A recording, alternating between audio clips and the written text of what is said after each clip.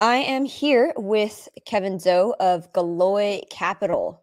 Kevin, welcome to Interchain FM. You are one of the few non cosmonauts on this podcast, and I know that you are an ardent POW supporter. Glad to be here. I want to run through your background because your history is really interesting. And just for the record, um, I was one of your first thousand or so followers before you really started making noise on Twitter. And I remember, I think it was Meltem's tweet or something that said, um, like, you know, who, which Twitter account is the most underrated um, Twitter account that has like a big brain behind it. And I was like, I know who Kevin Galoy Capital. And oh, then boom. appreciate that. Yeah. Thanks for the all the early support there.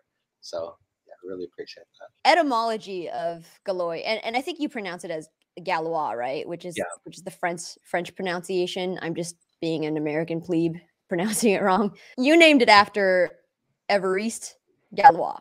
Is that right? The guy that founded um, group theory and finite, which is the precursor to finite fields, which is the precursor to cryptography as it stands. Yeah. Um, so yeah, we we named our, our firm after a French mathematician, um, and uh, you know I think uh, we were always going to name it after some mathematician, and we were kind of like uh, choosing between a number of different names. Uh, my suggestion actually initially was um, uh, Julia uh, Capital after Gaston Julia, who did a lot of work in fractals. Um, and then there was also considerations for, for you know, Mandelbrot, uh, which I think is, you know, quite, quite a lot more relevant to um, quantitative finance. Uh, but, you know, such a mouthful to say. Uh, ended up with Galois. I don't know if that ended up being like the best name, honestly, because, you know, it's so hard to pronounce. And when you read it out in, in, writ- in written form, uh, it's not obvious how to pronounce it. Um, but, you know, at this point, that's, uh, that's how we came up with the name. There. Right. So, and you wanted to pay homage to these mathematicians because you yourself are a quant. Is that right? Is that your background? Um, yeah. So both me and my co-founder were both uh, math guys. Um, so you know, we thought, why not? Uh, uh, you know, and I also think you know, as as a way of um, sort of, eh, I guess you know, helping with recruiting and sort of telling people initially, you know, the first thing that people see is the name of the of the firm. So just letting them know kind of what we're about. Um, you know, having a mathematician's name there uh, maybe kind of you know helps with recruiting the right demographic of, of folks that we're trying to target. Right, people who are nerdy enough to know that this is a mathematician. yeah, that's right. Exactly. Yeah, uh, it's interesting about about him is that he died at the very early age of I think it was like 20, 21 mm-hmm. over a over like a gunfight and it was over a girl, I believe. it was, you know, and I think in retrospect, maybe not a good name to name a firm after, uh, you know, somebody who died so young. Because I, I, definitely hope that we last a much longer time, you know. Right. We don't. We also don't die too early, you know. Yeah, and and you yourself are in a sort of veritable uh, gunfight online right now. I guess that is true. So I guess we're just playing it out right now, huh? That's uh, hopefully it doesn't end the same way then, huh? I hope not, but you know, he he made it in history, and he's remembered by progeny like like yourselves. So yeah, I, I, mean, just imagine what he could have done if he if he lived, uh, you know, much longer. Just uh, imagine right. how mathematics he, he could have discovered and invented. So, uh, you know, a bit, a bit unfortunate there, but hopefully we don't meet with the same fate. Yeah, right. So his claim in history is that you know before him there's a 350 year old problem that was unsolved until he came around and just created the solution mm-hmm. and that was the primitive for everything that we rely on for security and encryption today in crypto yeah no the guy was a young impressive lad so you know passed on too soon yes very sad so okay now that we know the etymology of Galois Capital. What's your background? We know you're a quant, but mm-hmm. it would be interesting to hear your story and how you got into crypto. Um, yeah, sure. So, um, yeah, you know, I, I, started off my career as a quant, and uh, you know, in 2011, I came across um, the Bitcoin white paper. I think it was the second um, post about uh, Bitcoin or link to an article on Bitcoin um, uh, on Reddit. uh, and it was the Slashdot article. So you know, I read that. I actually didn't think too much of it at the time, and then uh, I guess over the next week it kind of festered a little bit in my mind, and then I went uh, went back to it, started going down the rabbit hole, and then ever since then was just completely hooked uh, on crypto, and you know that's kind of kind of how I got my start. Uh, for the first two years, really um, not really joining the industry, just really training my own uh, PA, and then afterwards in 2013, uh, joining a small startup called Buttercoin. Um, it was uh, an early crypto exchange. Um, two years later, in the in the winter of uh, you know, 2014, 2015, um, ended up shutting down. So uh, that startup didn't make it. Uh, but from that, you know, experience, I was able to land a job at Kraken, uh, where, um, you know, I, was, uh, I helped build out their trading desk.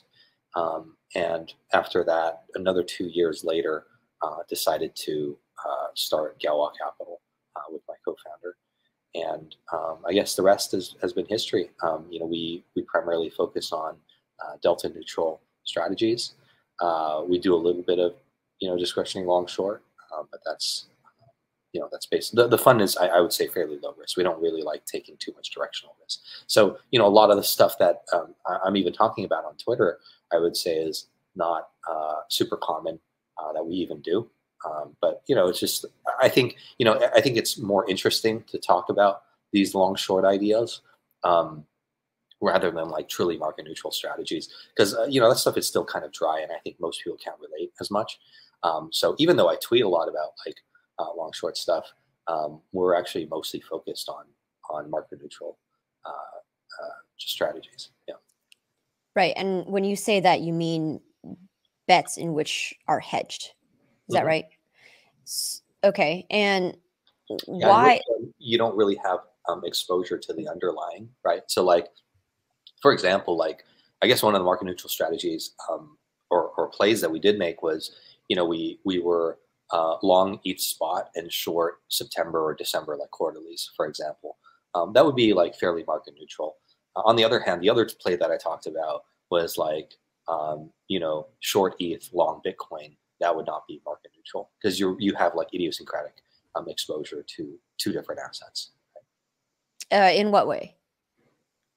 Well, I mean, like in the second case, you're short Ether and you're long Bitcoin. So it's like you are still exposed to the underlying sort of like relative price between those two assets, right? Mm-hmm. While Ether against Ether, for example, spot against uh, futures, that's, you know, much less risk. I see. Yeah. And where do you actually go to execute on these plays? Um, just across a number of different exchanges. So, you know, there's like FTX, Coinbase, um, uh, Binance, a couple other venues, uh, that sort of thing. I got it. So, who are your equivalents in the crypto space? Like, uh, uh-huh. would would 3AC be considered sort of a competitor or? Uh, I guess like laterally in the sense that they were a trading shop. Um, but I would say like, you know, a lot of these kinds of firms, um, like 3AC, like CMS, uh, they're a lot more directional than us. I think we're a bit more similar um, to, you know, like Jump, Tower, like HRT, um, to some extent, like Alameda Wintermute, um, you know, fast and Fasanara Digital, uh, places like that. Yeah. Mm-hmm. Like Nibio, Folkvang, like places like that. You I would say shot up in notoriety very recently from being the sort of Luna crash whistleblower before it crashed, and then now being the sort of uh, ETH merge whistleblower as it is unfolding. Yeah, um, I would say you know I think the first one played out a lot better for us, um, at least for me. Um, you know, I think I think we really nailed that one on the head. I think with the ETH merge, I think that one was more uh, well, I had two real main ideas. I think the first is that there's a lot of like merge risks that I thought people were not talking about, and people were sort of like um, understating. And then the second was, uh, you know, is it priced in or not, right? Or is it like overly priced in? Is this like kind of like a sell the news uh, kind of event? so I think you know, really on the first point, I was just trying to make the point that you know, there's there's all this um, all these possibilities about what could happen when there's a fork, uh, like the proof of work fork, and you know how many forks could there be, and you know this, this, and that. And I think really it's like, uh, you know, there's a lot of uh, possibilities. Most of them aren't going to play out, but I thought that even if some of them played out, that this would uh, materially affect like how we should be positioning ourselves um, going into the merge. And I, that's kind of what I wanted to share, uh, you know, on Twitter publicly, um, just to talk about some of these kinds of risks. Um, mm-hmm.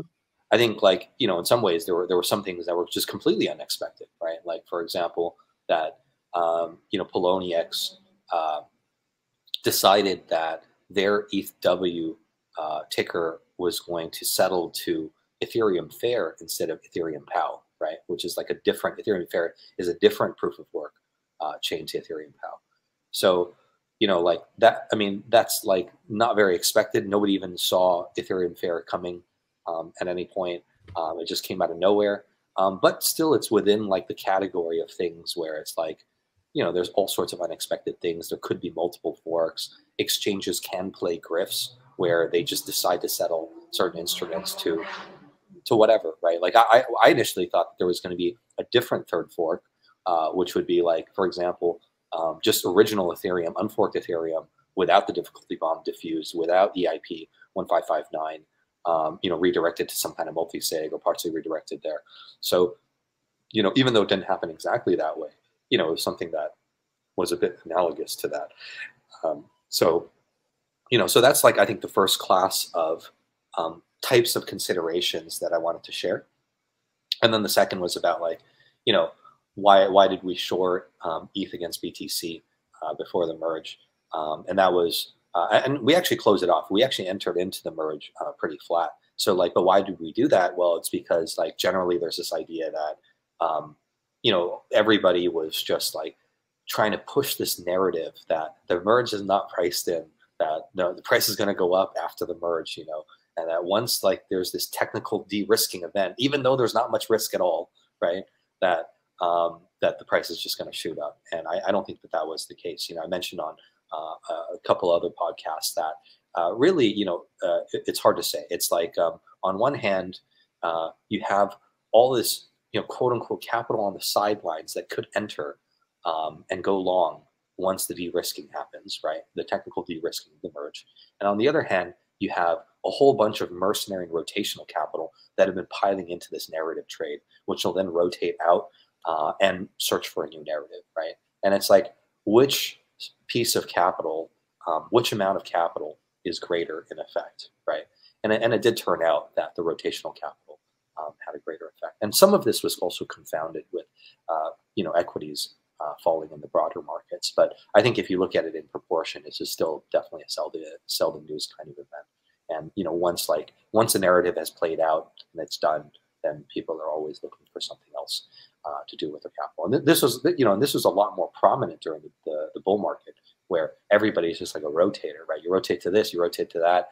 Um, this narrative comes, this narrative goes, um, and I, I, think we still see a lot of that kind of behavior uh, right now in, in crypto. And I think to some extent it's a bit unavoidable because um, it seems like generally people really like to follow uh, influencers on what they're doing. I think this is exactly the reason why, like, you know, in a much broader and sillier sense, you have all of these like actual celebrities um, starting like NFT series, right?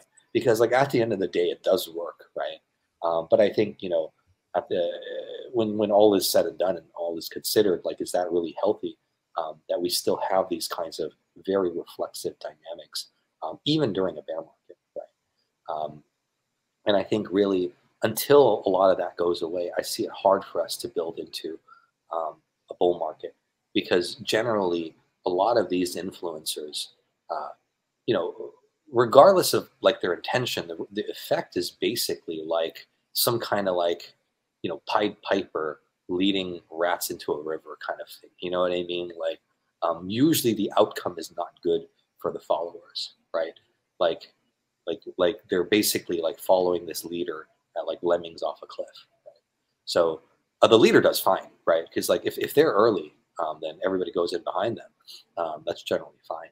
Uh, but I just think that that's um, just not not healthy to have, particularly in a bear market, right? It's not healthy overall anyway. In a bull market, it's what causes crashes to begin with. It's what causes like you know people to lose their shirts. Uh, but in a bear market, even at this time, you know, uh, I mean, I really, I don't really think it should be um, that way. I, I, think the, the faster that we can get that out of our system collectively, uh, the faster that we can go back to up. So that's my thought. Let's say 10, 20, 20 years from now, market becomes super efficient at, at finding true value uh, of cryptocurrencies. Uh, just because it's it's now you know so big and the entire market is multi trillions of dollars or the entire you know crypto market is that is that big is it at that point when we stop falling for these traps or are we never going to shake that off because i mean if we look at stock yeah. markets you know I, I think there's still some of that there right yeah uh, definitely so I, I think it just gets better i don't think probably there's some there's some part of it that's just human nature that we can't get rid of entirely right. but i but i do think that at least what i've noticed is that generally the bottoms of bear markets are marked by times where narrative um, no longer works, right?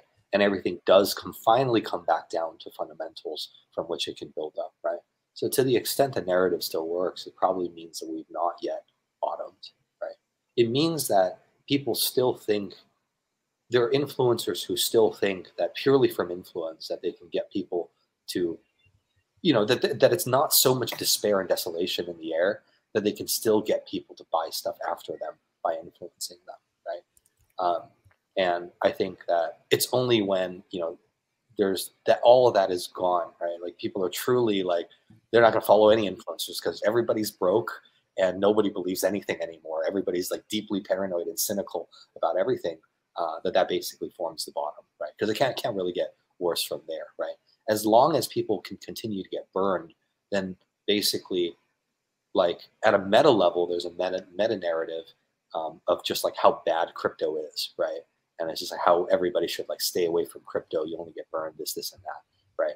So like as long as more and more people get burned in that way, um, then that'll it'll continue to fuel that fire. And so I think only after people stop talking about how bad crypto is, that then like you know, and then there's more of a, like a quiet period where people don't talk about it at all, and then after that, the people ah maybe crypto is good again, right? So it takes some time for that sentiment, I think, underlying uh, you know how retail thinks about the market uh, to really change. And really, I think you know, especially in crypto, retail is the lifeblood of crypto.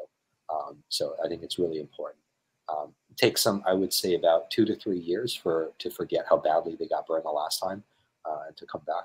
Um, so you know, that's kind of that's kind of how I see it. At this phase in the crypto market, we are still kind of teetering on the cliff, but we haven't really fallen off yet. And after we fall off, there's going to be just a so slow sideways bleed for at least another year from my point of view from here on out before we kind of can resume a full-on bull market if we're still following the cycle the, the cycles from the mm-hmm. last two bears and bulls. Yeah, I mean, I don't know exactly how long it'll take. I think it more has to do with sentiment and um, in investment capital entering on, in a layer of like infrastructure that then helps build out the next cycle, right? So, like for example, like a lot of the um, investments in, let's say, like DeFi, for example, had to be made like a couple of years before uh, like DeFi summer in 2020, right? It, mm-hmm. Like all that groundwork kind of has to be laid out a few years in advance. So like this is basically right now. I think we're kind of in a time where, um, you know, we're seeding the next, the next next hype cycle, right? Maybe the next mm-hmm. the next hype cycle has already been seeded like a couple years ago. The next next one I think is going to come from a lot of investments um, that that are made uh, in this bear market. Um, so you know, really hard to say how long it lasts. A lot of it's on on sentiment also like it's almost like the quicker things get bad, the quicker things will get good, right? And that's why, in my mind, it's a little bit like accelerationist, right? Like, in some ways, you can't prevent like these kinds of business cycles because of like the the reflexive nature of the markets, because of like human nature, because of that thing. Uh, I'm wondering maybe we can speed it along. Maybe, maybe that's possible. Maybe it's not. uh, really, really hard to say. So. Mm-hmm.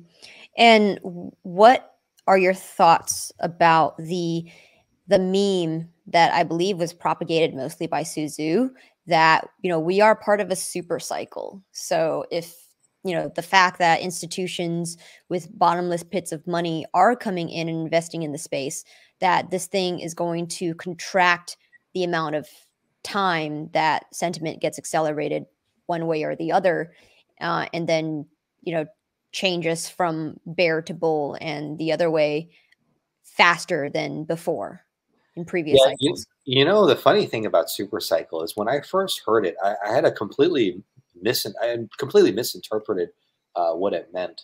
Um, what I thought that super cycle meant was that basically like there are times where you have like these double bubbles, right? Uh, like you know, for example, in 2013 there were like there was like a mini bubble in the summer, and then the the big bubble that popped uh, in in the winter. Um, and I thought like you know this 2020 and 2021 cycle would be like this super cycle, as in it would just be like a normal cycle, but it'd be like two humped, like it'd be like a two hump camel, right? Or it's just like two kind of like smaller bubbles within a greater like super cycle, right? So that's what I thought super cycle meant when I first read it, right?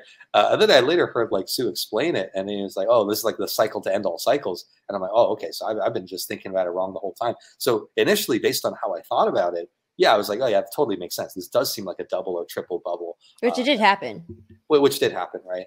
Um, but then like later on like this idea that the, the, the bubbles will go away i don't i don't think that makes sense i, I think that you're always going to have these kinds of uh, bubbles just from human nature but um, i think that the magnitude of them uh, is going to get diminished over time right um, so like instead of going like 90% crash into like 50x right maybe it's like 60% crash into like 5x right so like I, I think like these types of bubbles um, you know, are still going to continue. But I think the amplitude uh, is is just going to get uh, a little bit uh, squeezed in. I, I don't know if I see that just because it mm-hmm. depends on the circumstances and the people that come in. Because, you know, if if the theory is that over time the amplitude is going to decrease empirically i didn't see that that was the case because in 2015 it was it, it, it, we didn't see 90% crashes and in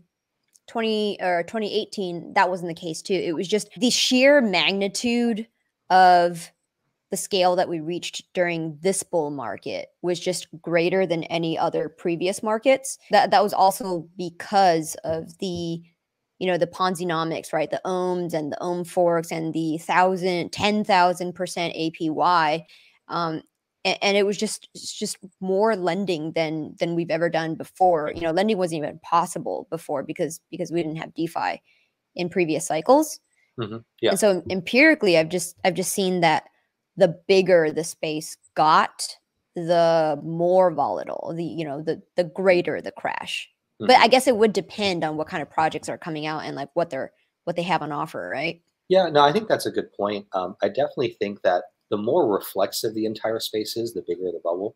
So like maybe maybe it's just to revise my idea there. Then maybe it really is the case that um, the magnitude shrinks over time, but sometimes can you know just blow out uh, if there's like mm-hmm. ultra reflexive cycles, right? Um, I, I really hope that there was a lot of lessons learned from yeah. of, like these kinds of ref super reflexive projects, and hopefully we don't have to go through the same level of mania uh, as as last time. Um, I also think that one of the reasons that I think um, things do get better over time is because like once we go through like this kind of whole like Luna episode, right? Uh, first of all, at least in the short term, we're probably not going to try a similar design within like let's say two or three years. But at least for like two or three years, like we can kind of put that thing to rest, right? Um, and then I think even in the long run, at least there's like something that's kind of imprinted on the collective kind of memory uh, of the space that uh, you know maybe something that's like looks like that even a little bit um, will cause at least some red flags and some alerts um, to pop up in our collective minds, right? Um, so maybe even for the long term, uh, e either of these kinds of ultra reflexive mechanisms need to get super, super complicated to which it's like impossible to reason about. Um, and then we think like, oh, maybe this time it'll actually work. You know, it never does, but maybe this time it'll actually work. Uh, or at some point, there's also like a getting smarter in the sense that, hey, maybe all of these designs just don't work. Maybe there's just something fundamentally just that we're that we're missing pursuing these kinds of like rebasing style um, algo stable coins, right? Like maybe we're trying to be alchemists too much over here, and you know, turning turning lead to gold kind of thing. Uh, maybe we just can't really be done, right? Um, mm-hmm. I also think that theory itself will get better over time. Like eventually, people will come out with um, you know proofs and, and theories on why um, certain types of things, certain you know, and it'll be very narrow. It won't be like things like directly related to the real world, but like a narrow subset of like maybe this exact type of stable coin, why it can't really work, right? And then like another somebody else will come out with this another design, you know, this can't exactly work. And then like what's common between the two, and then they can have a more general framework. Well, tokens of this design almost surely cannot work. Tokens of this design maybe have some chance, right? So it's sort of like eventually we start narrowing down the design space even from like a pure theory perspective, um, uh, rather than having to like actually do these experiments over and over and over again. Uh, maybe maybe it's actually provable that some of them uh, are just like isomorphic to each other, and therefore, if one doesn't work, and we've seen that, the others like pretty much won't work? So yeah. like whether or not we can create those kinds of like relational, um, like kind of like diagrams or uh, just relations, um, you know, between two different types of stable coins that ultimately boil down to the same. Thing. Given that some of these things are objectively bad ideas, mm-hmm. where mm-hmm. is the room for regulators to come in and say that that's the case versus where is there this reliance on doing your own research and putting it upon retail to understand that maybe they shouldn't put their life savings in this protocol that's built on sand that they don't yet know is built on sand yet yeah so my personal thought is that i don't think there um, needs to be too much regulation here i think just overall through the years the space itself does get smarter and retail does get smarter. Um, and you know, once once somebody's been burned, they they're going to think twice um, before getting burned again. So, you know, I don't think it's that necessary to put too much like paternalism on it. I think it'll have too much of a chilling effect on innovation in the space. And as much as I really don't like things like you know Luna and Luna Classic and you know all these types of like uh, and, you know I guess to some extent like all of these types of like ultra reflexive mechanisms from the past I think inevitably we had to have tried them, right? Because no amount of theorizing and rationalizing and, and, and you know just talking about stuff is going to resolve things, right? Like that's one of the things that I talked about in, in the last blog post that I wrote about, which is that like like reasons don't matter. Like reasoning doesn't actually matter, right? Like when you're looking at like the forces that drive stuff in crypto, like that's like reasons are fairly secondary like at the end of the day, until like we viscerally see it as an industry, there's always going to be contention and arguments between the different tribes about what works and what doesn't work, right? Which is why I think it's actually really good that Ethereum finally moved to proof of stake, so we can finally see how this thing plays out. You know, in some ways, it's better that they're not hindered or encumbered. Um, you know, after finally after eight years, um, you know, the proof will be in the pudding, and we'll see. We'll mm-hmm. yeah right? And how do you predict it's going to play out for ETH? I mean, I, I just want to kind of bounce some ideas off of you because I I have my own thesis, but I want to hear yours first. Um, I think in the short term it, will be fine. You know, it'll be just like any of these other proof of stake uh, chains. Maybe a little bit better on the liveness side, maybe about the same. Um, I think in the long term, it'll be interesting to see. I'm pretty pessimistic. I think that uh, there's a reason that you know proof of work is very expensive, um, and there's really one of two outcomes, right? Like one is that um, all along, Ethereum was overpaying its security budget. It didn't really even need these miners at any point. It was really overpaying for them, right? Um, maybe could have gone away with with much much less. Uh, or the alternative is all of this quote unquote waste, all of this waste that went into the security budget maybe actually was necessary, right? yeah. Um, now, there's always questions about, well, you know, some people might say, well, the security budget of ETH, uh, you know, it's just right now in proof of stake. I mean, it's a super high security budget, you know, like people have to stake all this ETH. Um, you know, nobody can misbehave uh, or they get slashed. Um, you know, this, this, and that. And what I would say is that like the, the real difference here is that the security budget for a proof of stake is ultimately like circular, right? Like the security budget is based on, um, you know, th- this. Uh, it's not based on the expenditure of value in the external world, right? Mm-hmm. Yeah, endogenous within the space. So you you create basically reflexiveness.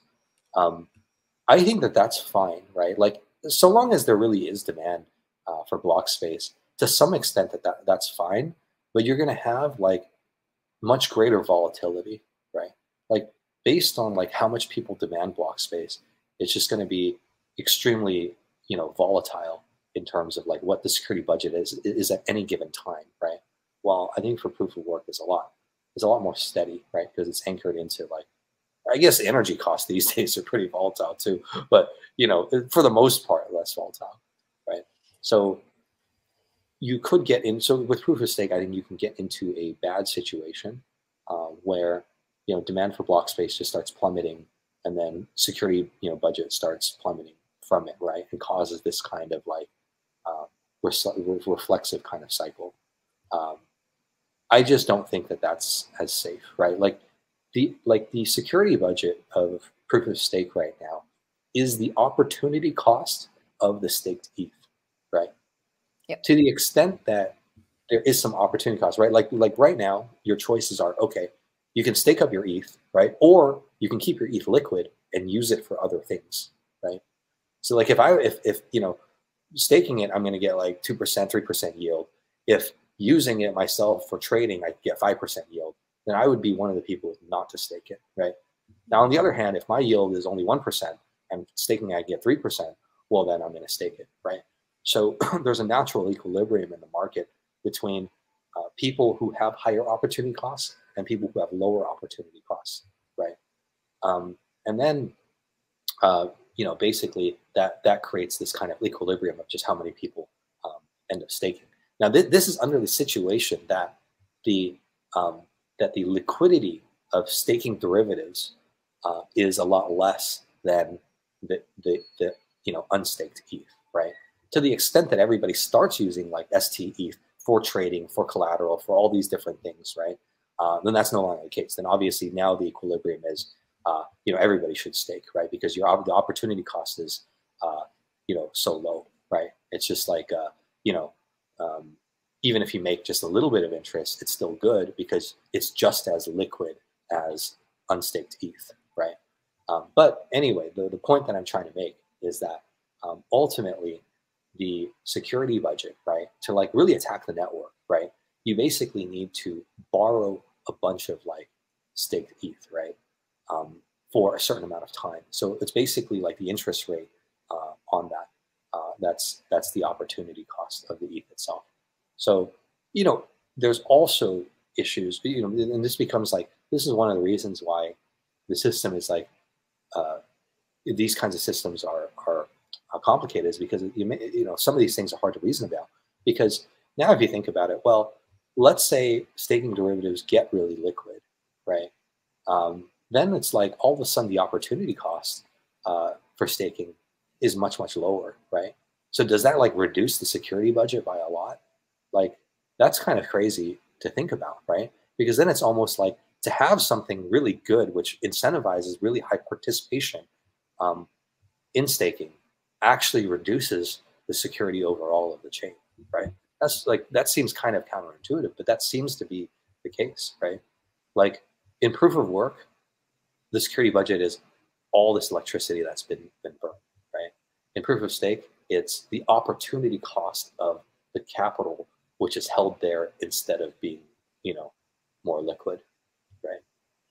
So like, what is that really, right? Like that's kind of circular on there being a use for that capital in the first place, right?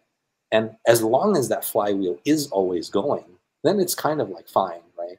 But if that ever like slows down or stops, or all of a sudden the opportunity cost to use ETH, that the next best use case of ETH um, is just is just now worse, right? Is just like lower yielding, um, then that reduces the overall security uh, of the network. Right.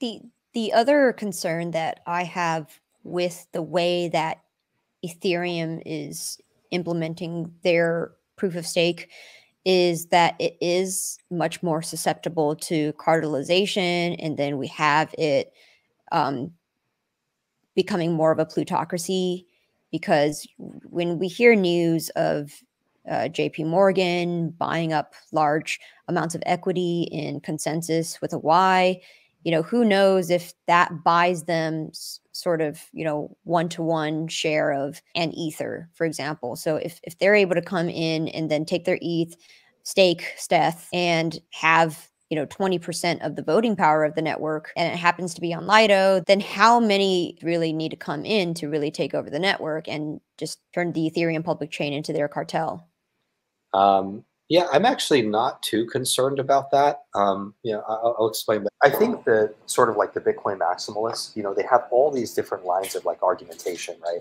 about like why like proof of stake is bad and why uh, proof of work is good.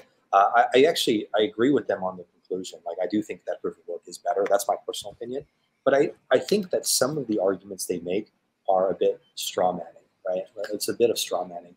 Like I think that you know, in in a way, like there is going to be more of like this kind of like plutocracy in the sense that like if you have it such that the stakers are the ones that you know validate all the blocks um, you know this this and that then like the only way that people can get a greater share is by buying more of the thing right? As opposed to like for example with mining you can either buy more of the thing or you can mine it yourself right? But i think practically speaking mining itself is already quite centralized and it's such a business at scale that like a, a, random like singular individual is not going to just then go set up his mining shop as an alternative way to getting bitcoin. They're just going to buy it in the market anyway um, so i think for the most part um, they're about the same level of centralization. There's some arguments to be made that even the proof of stake is actually a little bit less centralized and i actually buy some of those arguments from from the ethereans. Um, i think they make some good arguments there I don't really think that that's really what the issue is uh, with with proof of stake. Like as far as like the validators and stuff like that, uh, you know, doing some kind of OFAC chain, this, this, and that. I don't really think that's that's a big deal. They're gonna just like they're gonna slash them. They're gonna have their own uncensored chain and fork those guys off into their own chain. Um, that's not as risky. The really risky part, I think, is um, the, all the stable coins that are on Ether, right? Because like it, it's one thing for a validator to not behave according to social consensus. I think generally the threat of slashing mostly I think is good enough. Like like may it's like almost it's almost good enough or good enough in my opinion. But I think um, when you have like let's say like Circle or Tether, if they get a lot of pressure to say, okay, now all these um, dollars that are in this bank account can only be redeemed on the OFAC chain, right? Now all of a sudden you have a huge splitting of value uh, you know, when when Ethereum forks, right? Where you, where you have like an uncensored chain and like a censored chain, right? Then you can have like some very serious splitting of value. I think if it was just the validators that were um, enforced against by the government, pretty much, you know, almost all the value probably would stay with the uncensored chain. Uh, but you know, with the stable coins, you know, then it gets a lot more messy. So I'd say like that's that's a much bigger risk, I think, on the censorship side. Um, than than you know validator misbehavior, validator centralization, this, this, and that. Maybe in the long run, all that stuff matters too. But I think, you know, at least in the medium term, I'm not as concerned about that. I'm more concerned about, you know, just the underlying, like what exactly is proof of stake? It's basically a circular kind of opportunity cost as a security budget. Um, uh, that, that I think is more core of what I think is wrong with proof of stake um, or at least very dangerous. It's not even that it's wrong; it's that it's just more dangerous. It's just more reflexive and self-referential, right? Um, if it's if if it's like it's like hard to balance on a bike when it's not moving, right? But as long as the bike just keeps going really fast, then it's easy to ride a bike. Um, maybe it's like that. Maybe it's actually okay, but it's definitely more dangerous, right? Like if you want to, if you want to go really, really slowly on a bike, uh, the chances of teetering over are, are, are much higher.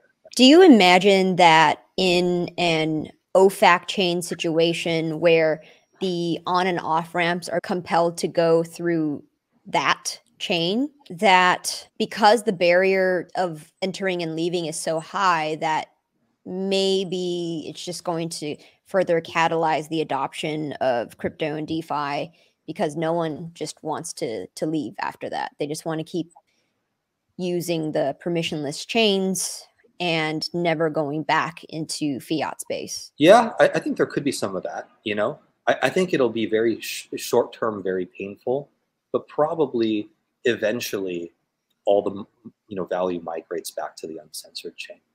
Um, mm-hmm. At least most of it. Maybe there is some permanent hit because you just don't have like like real like uh, tethered stables anymore on Ethereum, right? Or like like wrap Bitcoin, like stuff like that. Um, I don't know if there is a good replacement for that, um, but maybe, yeah, maybe there's, you know, at least, at least I think it'll be mostly fine, right? Like there's going to be a, a, period of massive turmoil, and then I think it'll be mostly fine uh, for Ethereum. But maybe with just like, there's just no more stable coins that work basically on Ethereum. I, I actually, I'm actually more worried about the fact that people will probably try to solve this problem by inventing new algo stable coins, right? Because all of a sudden centralized stable coins no longer exist on the uncensored chain. And then that's going to cause more damage than not actually having stable coins uh, mm-hmm. on the chain. Uh, yeah. I actually, I actually prefer, I think it's totally fine. I think Ethereum would be fine without centralized stable coins on it. I think it'll still be okay. Maybe, maybe it's like a permanent hit of like 10 to 20% in like the super long run in the short term, oh, it's gonna be ugly, right? It's maybe it's like 50, 80% hit. Um, but you know, in the long run, maybe only 10, 20 percent. It's, it's not even that bad.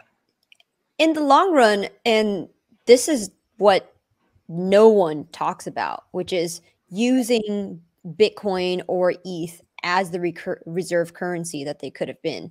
You know, if you remove stablecoins out of the equation, then if people had to exit out of their altcoins and and put it into something that's harder, they can uh, put it into Bitcoin, right, instead of USDC or whatever. If these stable coins go down, and then that could lend itself to Bitcoin and ETH's long-term value being more stable and less volatile.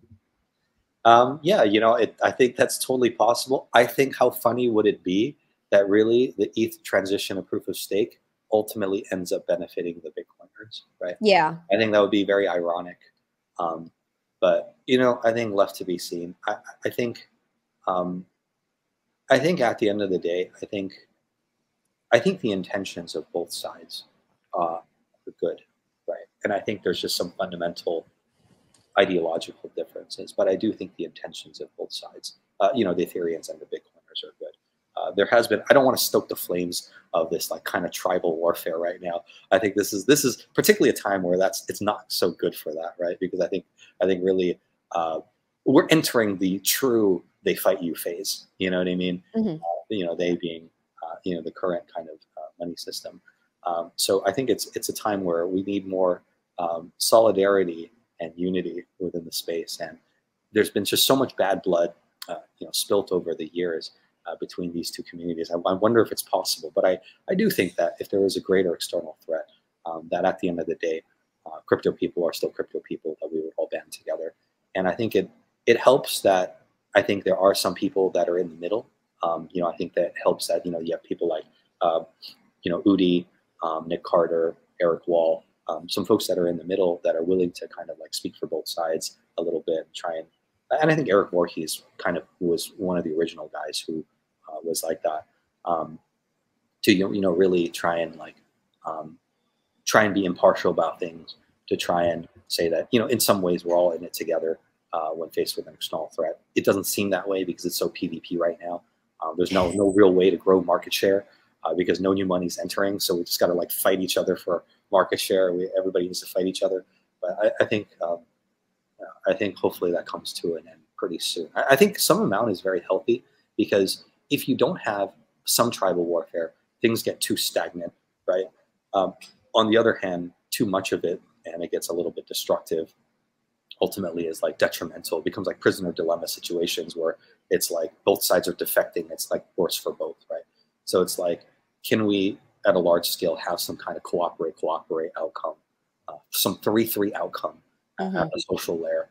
Uh, you know, when faced with a greater threat, maybe, maybe not. We'll see. You know, I, am I'm, I'm hopeful. I, I, think we can. It's just that right now, uh, there's there's not enough cohesion for us to have that 3-3 outcome and we are seeing that we're having the 0-0 outcome play out unfortunately the tragedy of the commons right yes. which is which, which is you know every individual who's been in the space for long enough knows how the game is played and it is more optimal for them to act selfishly than it is to act cooperatively so they're going to launch their own shit coins or whatever or you know like do the richard Heart thing right yeah. and I, I, think with the shitcoiners and people who want to do those kinds of um, grifts, uh, there's no way really to align them, right? We're just going to have to deal mm. with it. But I think between the bigger communities of like Ethereum and Bitcoin, I think there can be some alignment because even though you know the actual, you know, obviously the game sort of game theoretic outcome for prisoner dilemma is uh, defect and defect.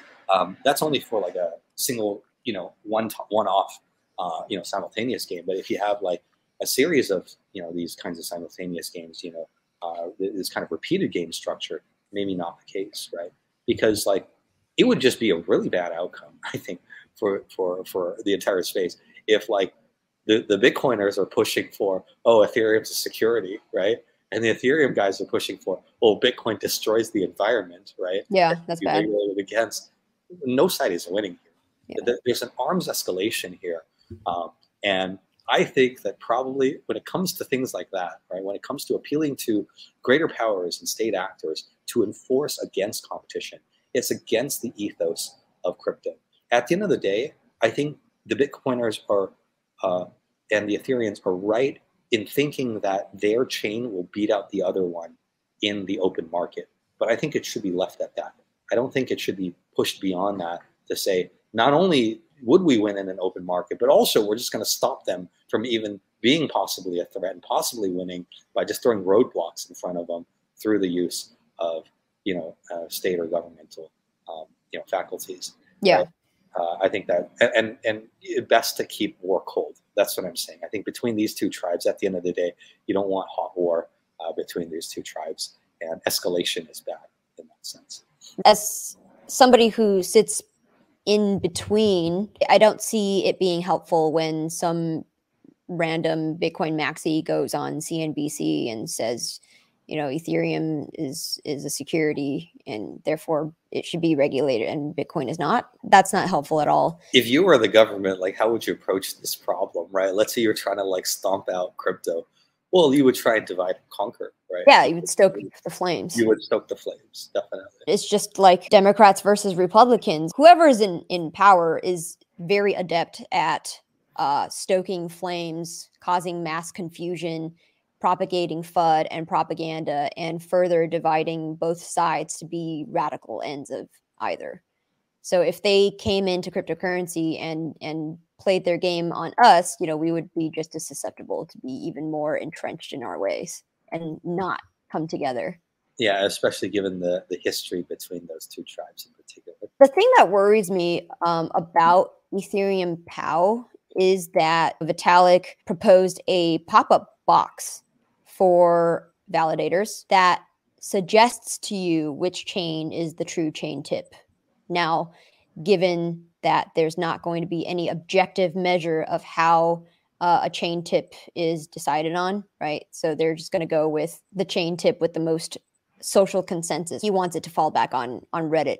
Yeah, I think that's pretty concerning uh, to even suggest that. Um, but that being said, I actually don't think the Ethereum community would accept that.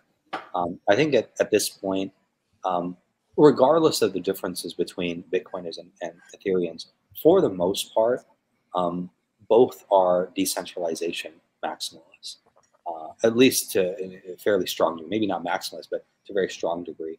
So I think there's a, there's a, I think at this point there's even a limit to what Vitalik can suggest, um, and if it's unpopular enough, I don't think it'll be uh, adopted. I, I, don't think the majority of the capital in Ethereum would agree to go along with something like that. Now that being said, like I don't think it's necessarily bad on the client side, right? As long as there's client diversity, for some of them to choose that method, right, of coordination, of having a dialog box, as long as not all of them do it, right? And as long as people are free to choose uh, between the different clients.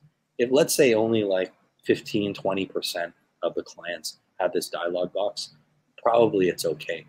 You know, when you get to about like 30, 40, 50%, you know, and then it's starting to get worrisome. Um, so I think the community might accept some lower threshold, but once like there's too much of this, I don't even think the community would accept it, even if it was Vitalik who said so. But at the same time, how many how many people are running these clients out of all of the Sybil validators that they have? It's it's only yeah, a handful of people. It's, it's, the whole thing is pretty tricky. One of the maybe other dangers that's you know maybe related to this about proof of stake. Um, I, I don't know if I you know completely agree with this exact argument, but maybe something that's related to it is that um, because proof of stake is not uh, well, I guess maybe to take take a step back, like why do people, you know, why do people create coins that are proof of stake to begin with, right? At least in sort of like the modern era of crypto, that has been like um, sort of like the, the, the, most common new coin is some kind of proof of stake coin, right? Um, and I think that that's because it's actually kind of hard to set up all of the mining, right? Like it's kind of like a shortcut. If you're able to just like set up a coin without having to get buy-in from all these miners without having to deal with hardware. It's a lot easier to issue your new coin, right? So people are kind of like skipping this step. They see it as unnecessary. Um, but I think that, you know, at the end of the day, um, it's like because proof of work requires mining, um, you know, you have like, you know, like Dogecoin and Bitcoin, like there, there are some very real, real world costs um, that are involved in the history uh, of the chain, right? Well, for proof of stake, it's like there's a lot more like kind of substitution effects because if someone comes up with a better mousetrap, they can just launch their coin and now it starts cannibalizing on all of these other proof of stake coins, right? Because you can literally just kind of like mint the initial uh, amount out of thin air. Like I, I think Ethereum is a bit in the middle, right? Because at the end of the day, it did start off as proof of work, right? A lot of the seigniorage did come from, you know, almost all of it really, right? At this point, came from the proof of work era. Uh, very little of it came from the proof of stake era, which you know we'll see. We'll see how long it goes, right? Um, but for any like true proof of stake coin from the very beginning, right? You know, you're going to have a lot of substitution effects because like all these other proof of stake chains, if they come up with a better mousetrap, they can also mint their coin out of thin air and then cannibalize on your market share right? Well, for, for proof of work, you know, that's not really the case. There's so much build up that has to happen in, in the meat space, right? So that's kind of how I see it is that really like proof of work truly has supply caps, right? While proof of stake, you know, even though this coin is supply capped, the next coin kind of has substitution cannibalization effects when they issue their next coin. Right? Mm-hmm. So it's not it's not sound in that sense, right? I think that gets a little bit to sort of what you were saying, but maybe a slightly different kind of argument. I would say it's somewhere between the gold standard and fiat. And the reason I say that is because, like, at the end of the day, still the supply and the issuance is algorithmically controlled, right? Um, it, it can't, it's not just like, uh, you know, for the most part, at least, it's not just like a small room with a couple of people deciding, you know, what, where the money supply is going to go, right? Um, so I, I, think I do think it's already better than fiat. You know, we'll say that. You know, as much as uh, I do prefer proof of work, I think even proof of stake is better than fiat, right? But it's just um, my my issue with it isn't really these kinds of things. Um, it's more about you know substitution effects from other proof of stake chains coming on, um, and them, and, and it still could work, right? Because if the network effect is strong enough, and it is the last network, right?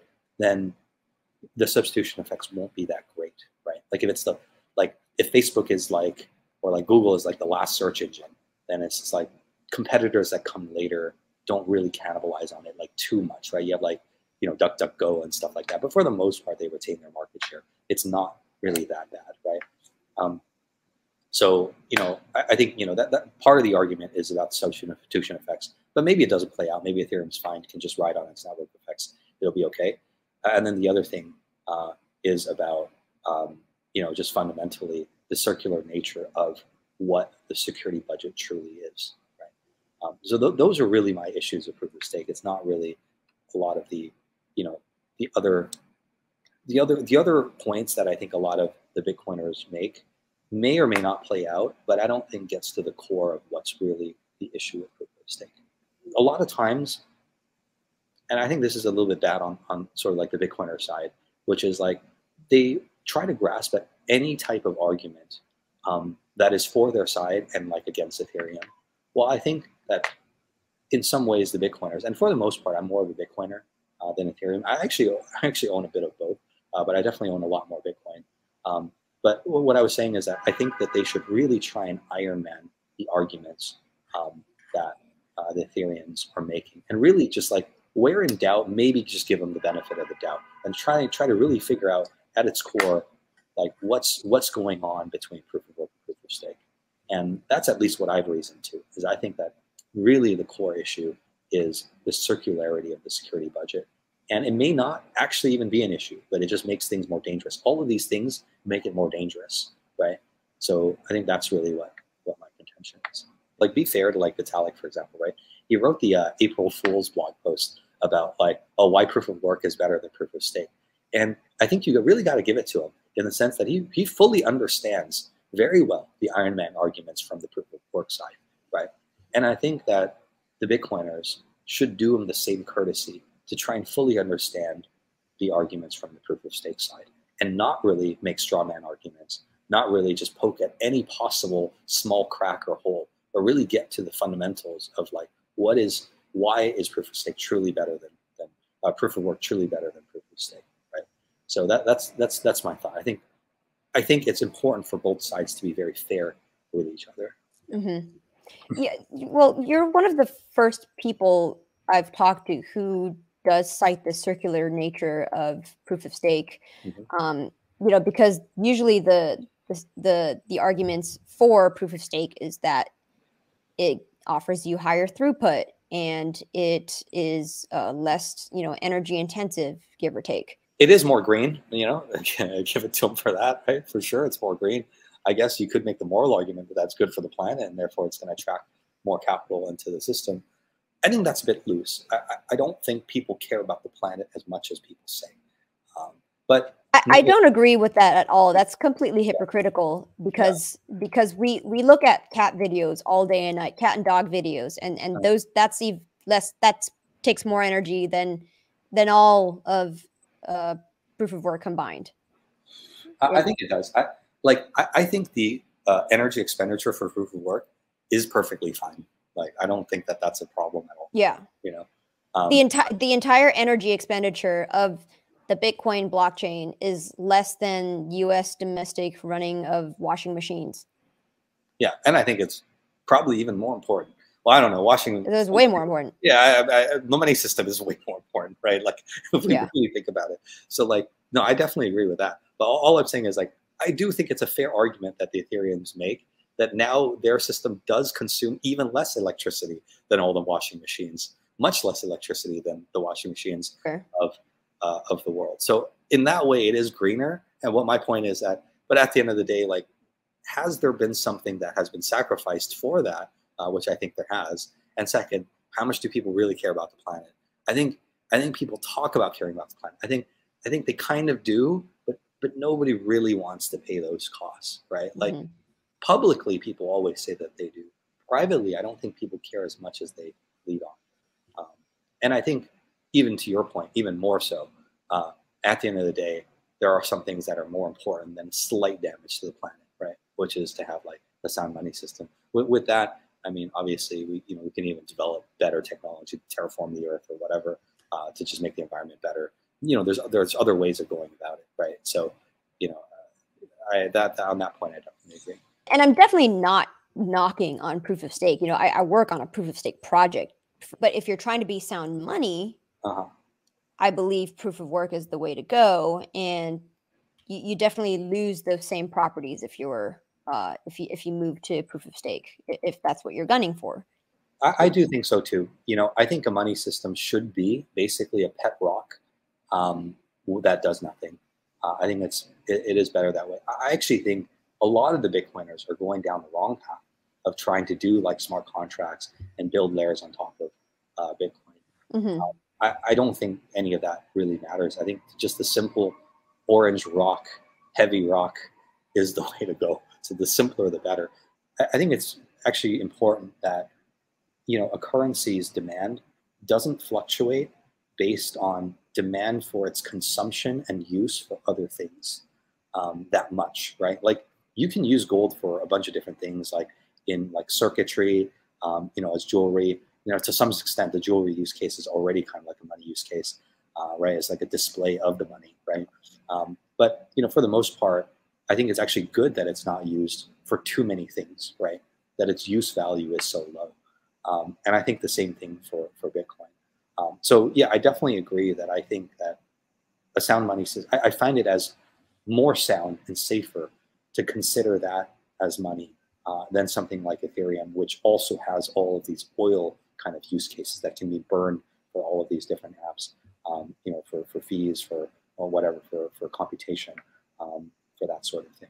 So yeah, definitely agree. And, and uh, I even think for the Bitcoiners, they don't, they don't need to go and compete with Ethereum on the tech thesis. And I actually think that even for the Ethereans, I know that eventually they do want to compete with Bitcoin for the money thesis. But I just think tactically, in the short term, they shouldn't pursue that line. Um, they should really, you know, just take over the tech thesis and then undermine Bitcoin on the money thesis later if that's what they want to do. I think in the short term, they want to avoid escalations. And also, I, uh, to be fair, it's not, you know, the Ethereans probably deserve less than half the blame for escalations. I think the Bitcoiners are particularly aggressive in trying to slam Ethereum. Uh, so to, to be fair to the Ethereans, I think the Bitcoiners should also, at this time, lay off temporary truce. They can get back into it later. Maybe I can give so, sort of my thoughts on some of the reasons I think that the a lot of the Bitcoin maxis are very aggressive and toxic. And I think it's really two core reasons. The first is that is the simple one, right? Which is that at the end of the day, they are worried about Ethereum, right? That they're not so confident and sure about their own system that they think that they need to impede or hinder Ethereum. So, and out of fear, they want to prevent it from happening so that Bitcoin wins in the end, right? And I think that this is a bad line of thinking. I think if they really believed in it, then in an open market, it'll just outcompete Ethereum. Everything will be fine. You don't need to impede Ethereum's progress in order to do so, right? And I think that's a that's a more honorable and a more just way of going about it, right? Because if Ethereum wins in the end, then it does deserve to win, right? Let's like be fair about it, right? I think the second though, uh, the second argument though is is actually more more funny and more interesting, which is like at the end of the day, what do the Bitcoiners actually do? Well, they basically hold a really heavy rock and they watch paint dry and they watch grass grow, right? The whole the whole thesis of how to play Bitcoin is you just buy this thing you hoard this thing, you just wait and do nothing, right?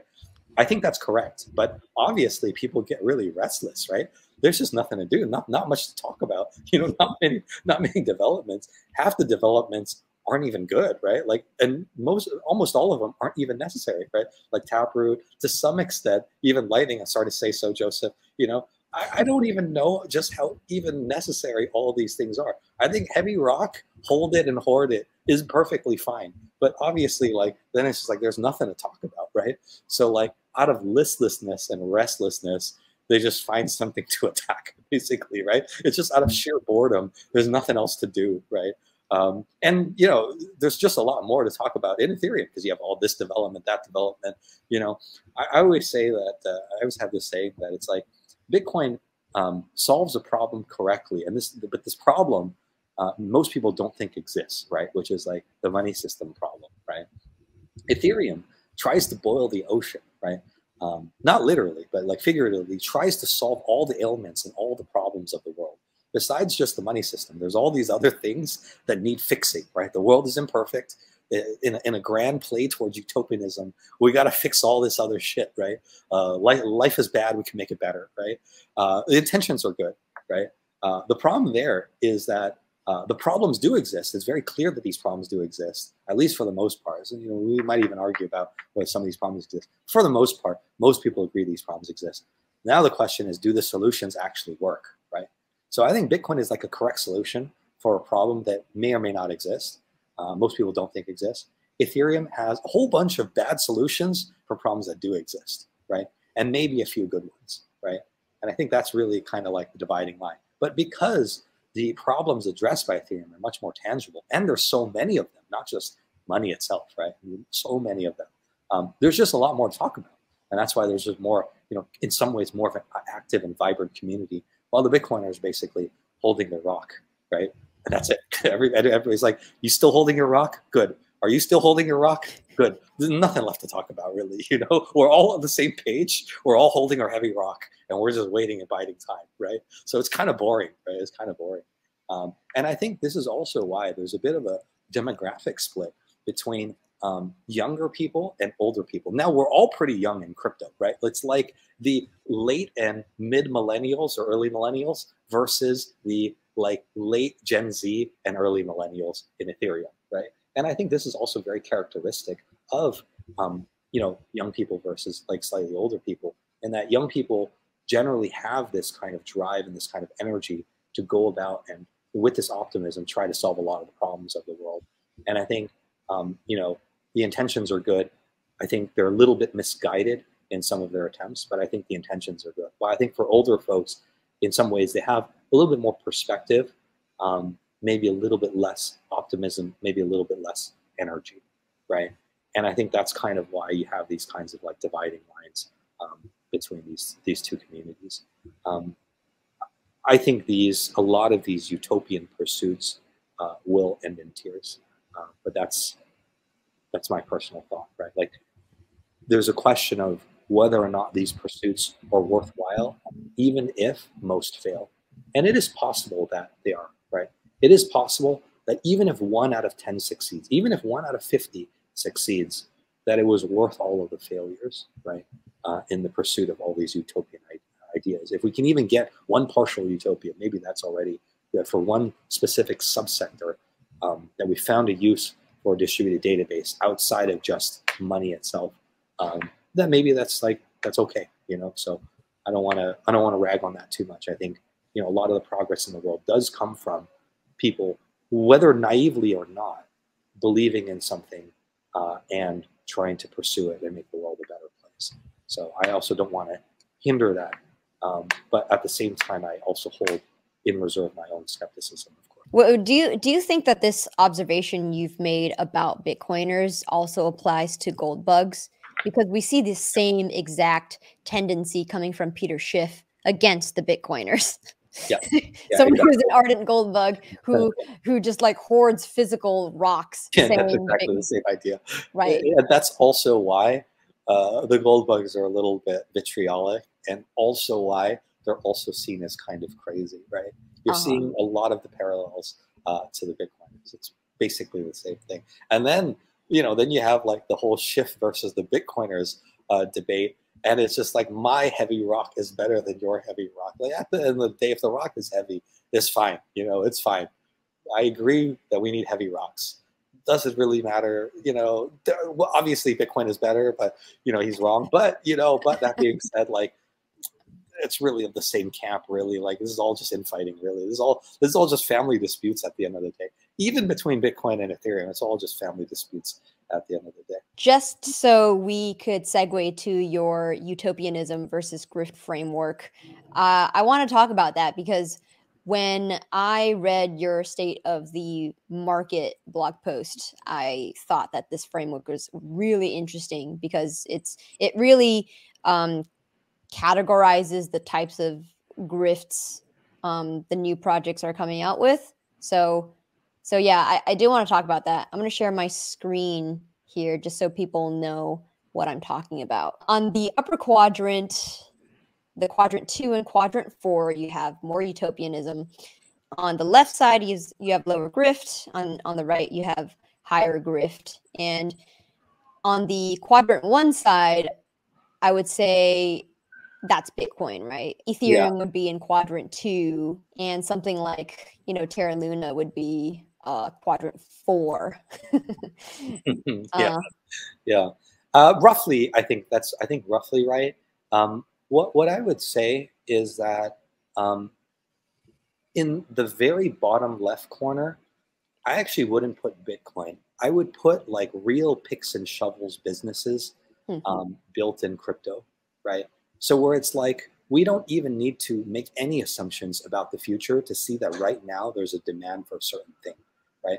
Like so, for example, like a legitimately run exchange would be bottom of quadrant, uh, lower left-hand corner, quadrant one, right?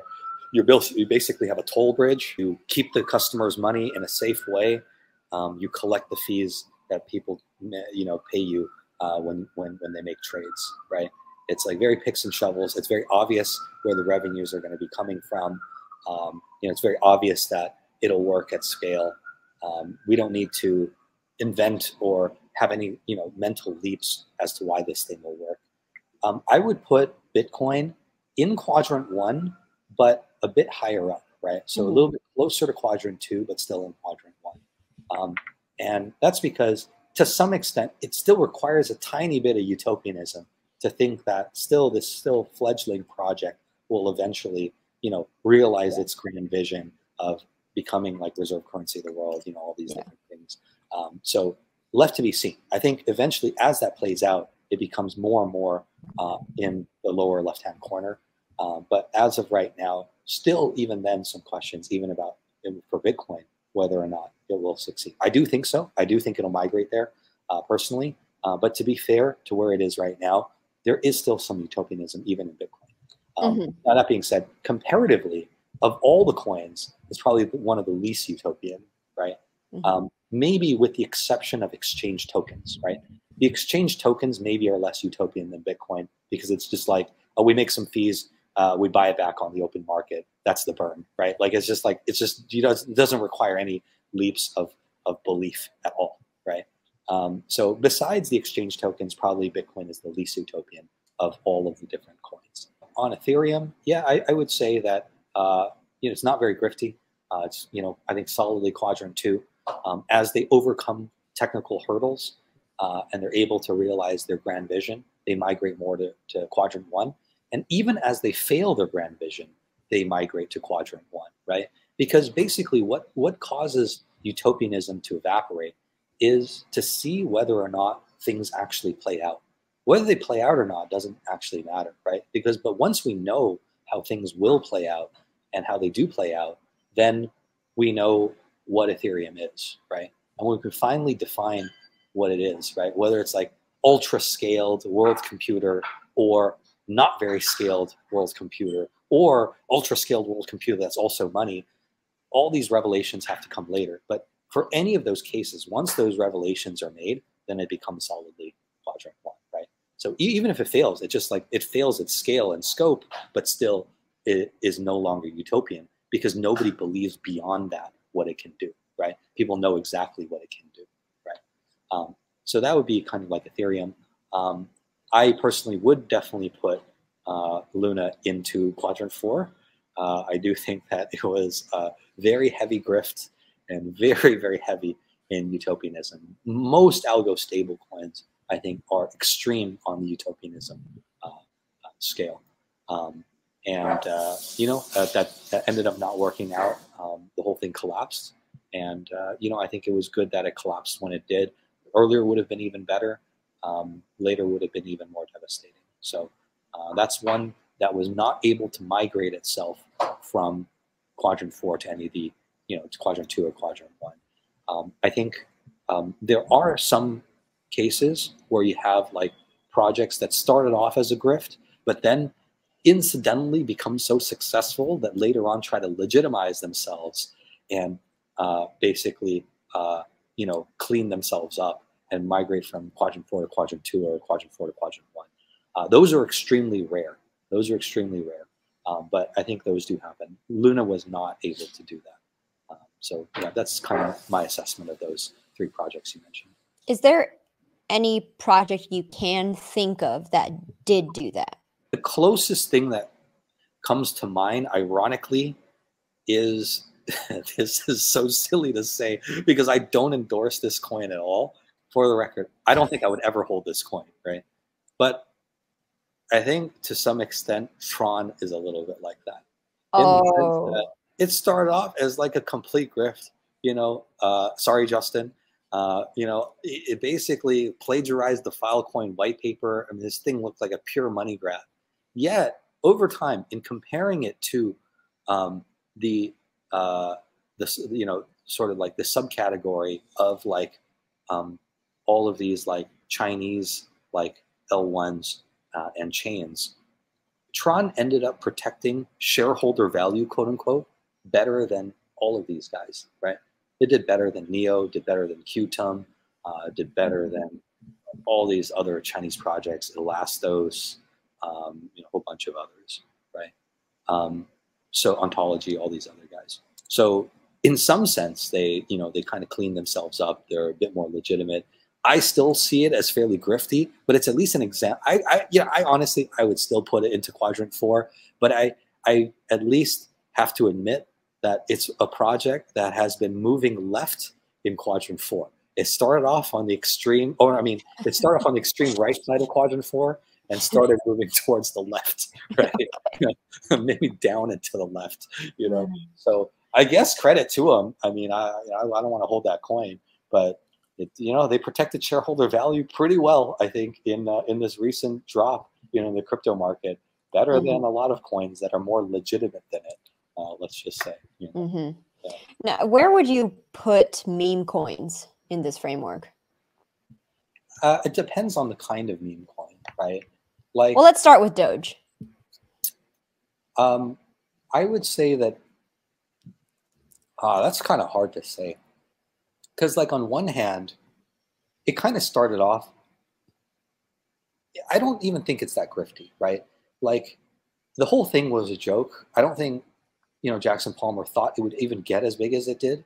Um, so I don't even think his intention was just to make a, whole bunch of money on it. So I'd say it's on the lower grift side. Um, and I think in some ways it's not very utopian either because it doesn't really promise much either, right? It doesn't really try to solve that many problems. It's just a fun little coin, right? So I would even say maybe even just quadrant one. You know, mm. I don't think the intentions were bad when it started, and I don't think it tries to do anything beyond its capabilities. I don't think it reaches beyond its grasp. So maybe just even quadrant one. Maybe even in some ways even less utopian than Bitcoin because it doesn't purport to do like to take over like you know the reserve currency of the world. It doesn't purport to do that. Right? So not bad. I actually kind of like Doge to be honest. You know, I think fundamentally it's not even that bad. You know? Would you adjust that vision given that Elon is trying to inject utopianism into it, at least by memeing that into existence? I don't think he's trying that hard because I think at the end of the day, he still understands that it's like a meme joke coin. Um, right. He, I think he's trying to give it a little bit more utility. I think he's, you know, is doing it a little bit, but I don't. I think there's only to some extent that he can because of kind of like its origin story, its a, you know its conception story, that sort of thing. Um, you know, I, I, think it's only so far you can go with that uh, in that direction. But I think it's fine. I think it's fine how it is. You know, mm-hmm. um, may, maybe even like to to talk maybe a little bit about like NFT land, right? For example, I find um, ether rocks to be the least utopian, right? Because it almost parts the veil, right? It pulls back the curtain on like what is it really, right? It doesn't even try to pretend to be more than it is. It literally says like you have a pet rock. You have a you have the you have a pet image of a rock, right? and I I kind of like that, you know, like they don't there's no there's no company behind it that's trying to like pump up its value. There's there's nobody behind it to try and give it some kind of use or oh you get to attend certain parties because you own an ether rock, you know, stuff like that. No, it doesn't matter. It's just it's just a rock. It's just a you know left or right face. I forget which which way it faces. I think it's uh, I don't remember which direction it faces. It's just uh, left or right facing rock that does nothing, right? So I kind of like that. Very low in utopianism. I think CryptoPunks is a little bit more utopian than it, but still fairly not utopian. But I find like apes to be probably of the three the most utopian, right? Um, so it's like, and I think and I think these are all fairly like medium level, I think, on the grifty scale, right? Because like on one hand, NFTs generally are good at grabbing money, right? Um, and there's always some kind of financial incentive there. Um, but I think it's not that bad in the sense that they don't they don't really promise too much, right? It's like you really are buying like this JPEG, right? And it's not like they're it's not like some elaborate contraption, right, uh, to fool people, right? I think it's in some ways fairly honest, right? So it's in like an it's like an honest money grab, right? So medium grift and varying levels of utopianism. That's kind of how I see um, NFTs. Okay. Yeah.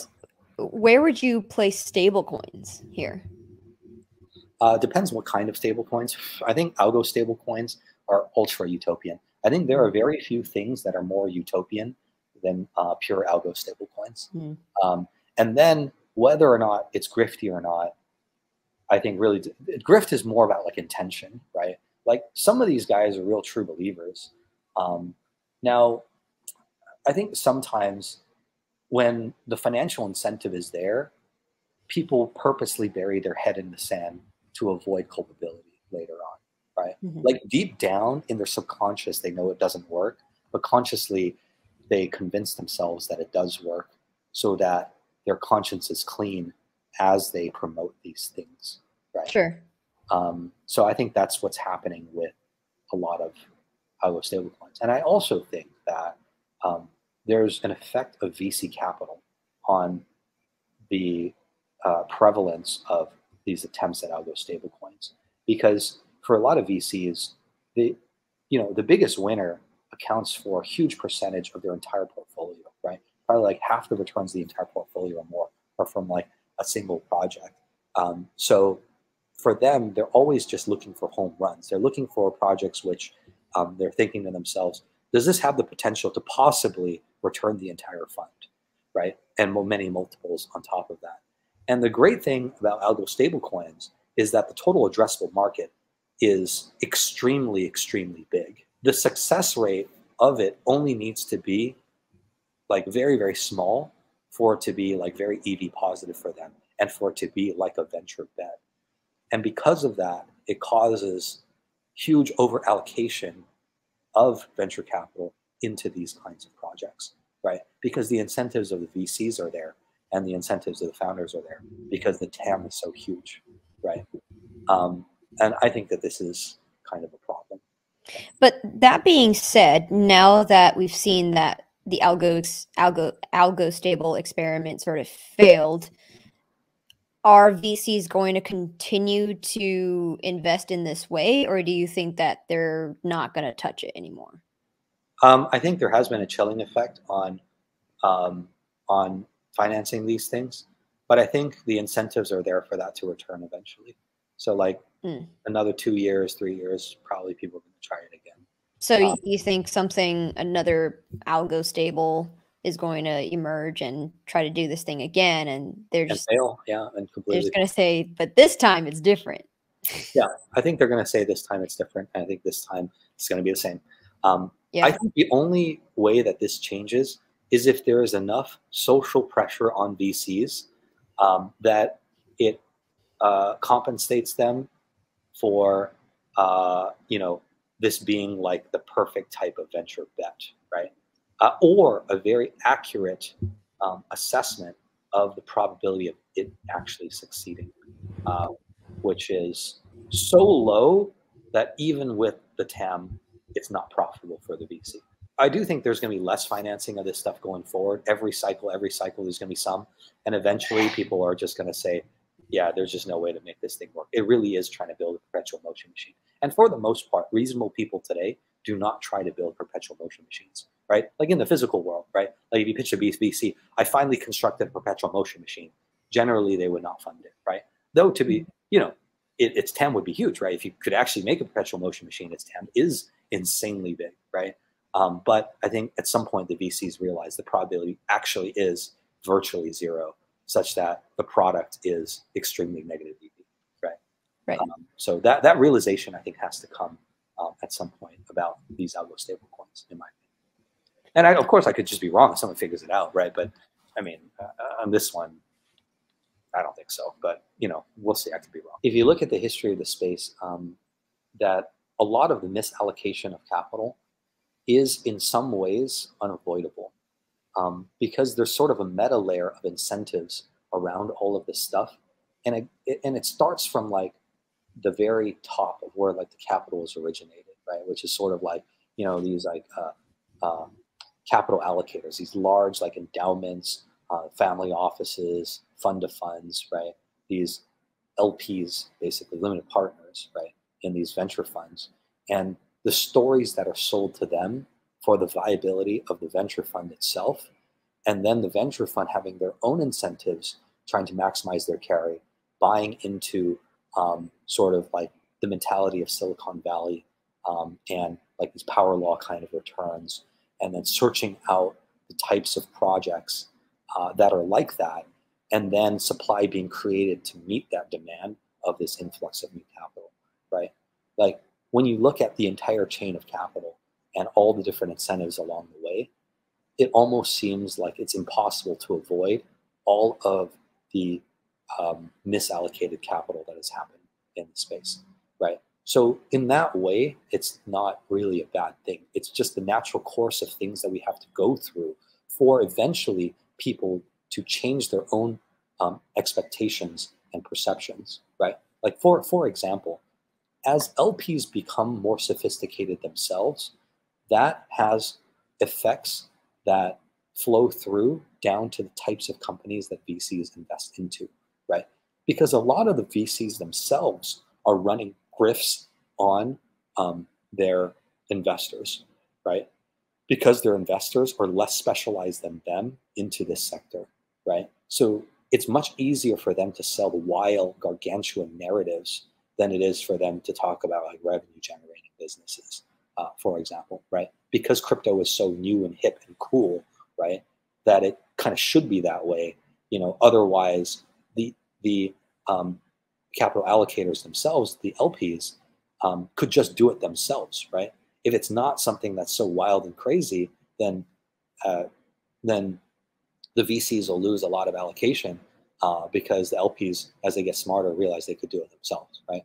And then I would also say that, like, um, you know, as the um, LPs get smarter, also maybe they also realize, well, wait a second, like maybe it doesn't actually make sense, um, you know, for investing into some of these like really crazy like reflexive projects, right? Where historically, like a lot of people um, have taken losses, right? Um, if they themselves, through the VC, take a lot of losses. But that can only happen if the VC is not out early, right? For these super reflexive mechanisms, so far, the reason that they're going to repeat is that a lot of people still made a lot of money on Luna, right? And it was mostly the end bag holders that lost money. So the end bag holders learned the lesson of maybe this stuff won't work again, right? But the people who made money will be willing to invest into these kinds of things again, right?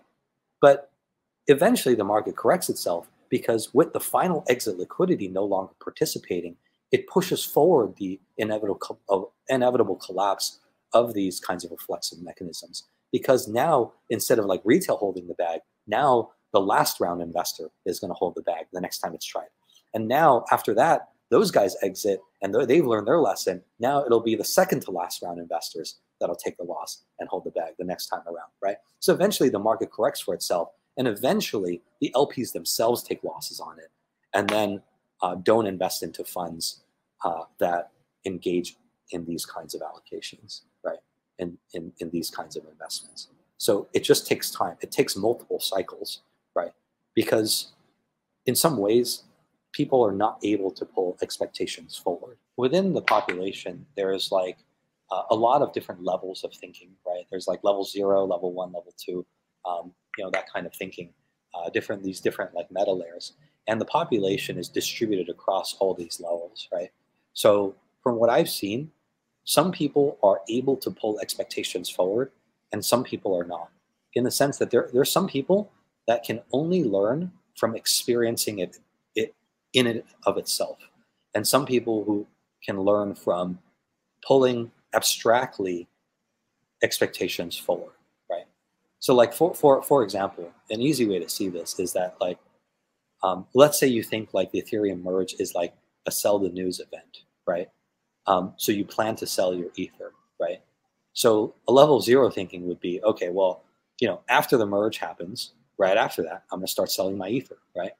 Well, level one thinking might be, well, I know that other people are thinking this and they're gonna sell after the merge. So right before the merge, I'm gonna sell, right? And then level two might be, well, I know that some people think that after the merge, they're going to, some people are after the merge, they're going to sell. Some people right before the merge, they're going to sell. So I'm going to sell a week before the merge, right?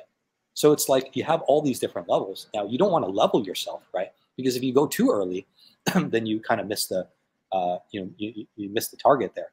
So really, the the entire game is to figure out, like in a kind of like Keynesian beauty contest, like it's like a it's like those those, those games that they play in like college where it's like professor brings in like a marble of jars and he says, okay, I want everybody to write down um, what they think the av- the average guess will be for two thirds of the number of marbles in the jar, or like how many marbles are going to be in this jar. I think that's an even easier example.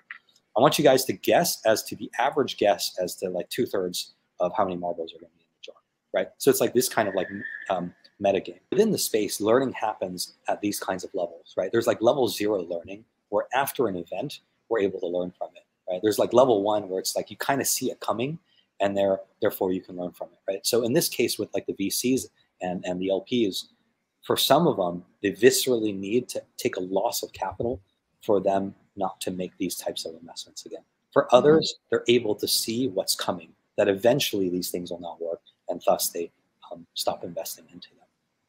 So it's like it's a mix of those things, and that's why I do think that eventually things get better, but it takes multiple cycles. And it doesn't, it's like one blow up is not enough. Like Luna's blow up is not enough for this experiment not to be tried again. It still will be tried again, but eventually, eventually it will stop being tried. Final things that I want to talk about are the ETHPOW uh, base fee redirection of EIP 1559 to uh, multisig. Then your take on the LUNC 1.2% burn tax. So I think for for ETH POW, I think um, I I don't really like what they're doing over there. Um, meaning that like if I if I were in charge of doing like an ETH POW fork uh, at that time, I would have not have made the choices that they made. Now I understand why they made those choices, right? Like at the end of the day, they don't have an Ethereum foundation, so they don't have a way to fund development on their chain, right? Um, so they're trying to figure out a way of doing it. But putting like the base fee from EIP 1559 into some kind of centrally controlled multi-sig for development purposes, that's just very centralized, right? Then it's just very clear that there's like some small group um, that uh, gets control over you know this pool of capital. And I don't think that that's the line that they should have played. I think they should have played a much cleaner and much more kind of fair line, right? Where maybe initially some people have to just take some altruistically have to take some short-term losses they have to do development work for no uh, for no pay. Uh, you know, this, this, and that. Miners might have to mine at a loss for a little while. This, this, and that. I think the conception story is extremely important, and I think a lot of the sort of the the dirtiness that surrounds ETH POW, I think will stay with them for an extremely long time, if not their entire life. Um, so I think they made a lot of misplays. Any any time where there is some kind of centralization, I think they um, should not have gone down. That route. I, I think their narrative should have been that ETH POS is going to become more centralized. It, it's controlled by the Ethereum Foundation. That's how they're able to actually fork off of it. I think probably in retrospect, I didn't have this thought at the time. Probably they should have just forked um, by keeping the chain exactly the same with virtually no changes. Maybe with the chain ID changed, right? Without even diffusing the difficulty bomb. And only later on in an upgrade quote unquote upgrade diffuse the difficulty bomb, right? So that they can at least have a story that this Ethereum, that's this proof of work Ethereum, is exactly the same Ethereum that we all know and that we all use, which is the pre-fork Ethereum, right? That there's absolutely no changes, maybe with the exception of, of the chain right? And I think that would have been a stronger play. Um, it's what I would have recommended to them at the time if I was working for them. This is why all these conspiracy theories, you know, about that. Oh, I'm in, I'm in the ETH proof of work camp. Uh, not the case. They, they, they're not paying me. I don't work for them. Um, they clearly did things that clearly I would have never done. I would never played my hand that way. Um, and, uh, you know, so they've decided to do what they want to do. That's their prerogative. Um, and, uh, you know, we'll see how, how things turn out. Um, the market's uh, pricing things at what, like eight bucks or something like that. You know, there's been a lot of dumping. We'll see where things go. You're saying that this was already implemented and all of the base fees from ETH, ETH POW are being redirected into a multi-sig? Yeah, I mean, that's my understanding of, of how their, um, how their fork works. Yeah. They defeat okay. the difficulty bomb. They redirect the fees. I think did, I think they were thinking about freezing the DeFi protocols. Um, yeah, that was that was clearly a bad idea. I think it's gladly. I think for their sake, uh, they decided not to do that. Um, oh, is that true? So I read the Aave governance proposal, and it, it looked like it was passing from when I last looked at it. Oh, I, I, I think maybe that's just for Aave itself to like stop like deposits and withdrawals or borrows and lends during that time. I, am I'm not sure. I haven't been following that too closely, but I know that um, the ETH POW guys were was at some point they were seriously considering freezing like a ton of DeFi protocols, basically, so that oh, like all of it, what, like all of almost all of it, basically. And I think that's clearly a mistake, um, which I think they recognize later. Who who are the guys behind ETH POW now? I think it's mostly like the miners, Chandler Guo, the AWSB, um, you know, mostly those guys. Uh, they have like a decent, I think, Chinese community. Um, but yeah, I don't, I don't really, I've never, I've never talked to Chandler since like 2014. So, you know, I don't really know what's going on over there. There's all these conspiracy theories. It's so funny, you know. It, you know, I also see on Twitter this whole thing that it's just like people are saying that I've been like shilling ETH POW. If you literally look at the stuff that I wrote, like what did I even say? I said that like ETH POW's value is strictly greater than zero, which it is, right? Which is why I made the whole backwardation play on spot and futures, right? And uh, I played the uh, stETH, ETH um, discount also, right? Also because of the same reason, because there will be a non-zero value uh, to this to this fork or these multiple forks, which also played out. Uh, and then I said, uh, I want to short Ethereum against Bitcoin because it's run up too much and the narrative is way out of control. Uh, too many people believe in the narrative. And then I closed it out, and I was actually flat going into the merge. So I don't understand uh, what, what, what, people are even talking about. And I, I want to say, uh, you know, another funny thing about it too is that like, like a lot of these kinds of trades are actually really easy, right? Because it's kind of like common sense. Like the only reason that people didn't realize it is because there was too much propaganda, right? Like now, when we reflect back, everybody would agree that that's obvious, right? Like that it couldn't have probably even gone any other way. That for sure a fork would have more than zero value right? And that narrative was out of control in the sense that literally everybody that you talk to maybe with the exception of like andrew kang right? But every influencer you talk to um, was super bullish and going into the merge right? At least like three weeks before the merge right? At, at the time when narrative hit its peak right? And the trade is simple which is that anytime virtually everybody believes something just do the opposite it's almost guaranteed to be profitable, right? Like it doesn't even matter if like your chances are super low, right? Like if 99% of the capital is mega long something and then you short, you're you're you're the downside asymmetry is like one to a hundred, right? You only got to be right like one out of a hundred times you probably make money, right? So it's just like whenever things get way too skewed, right? Like and, and I'm saying like like I think like even like 90-10 is not like skewed enough, right? Like I mean, like when it's like 99.1 or 99.91, like just do the opposite. It's like basically like free money, basically. You know, mm-hmm. like it, it, it doesn't even matter like in the long term whether it's correct or not, right? It's just like when like it's so fragile in one direction, it's almost like a super super cheap call option. It's like you're basically able to buy a virtually free mm-hmm. call option, right? That's like almost certainly good. Like somebody's just mispricing it. Because somebody, the rest of the market is selling you a call option at virtually free. Right. Mm-hmm. Yeah. So so so is that what you did? So you you what you you borrowed stETH and then traded it for ETH and then shorted ETH and bought more Bitcoin and that's where you hold Bitcoin. Well, there were there were three things. Uh, well, there was actually there was more things, but at least publicly um, that I've talked about, there were three things, right? So the first was uh, and I think I was we were literally the first to do it, uh, which is a, a, long spot. We're one of the first. So long spot, uh, short uh, September or December quarterlies on ETH.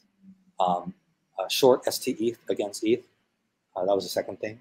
And then later on, and this is actually later on, because um, then everybody started piling into those trades.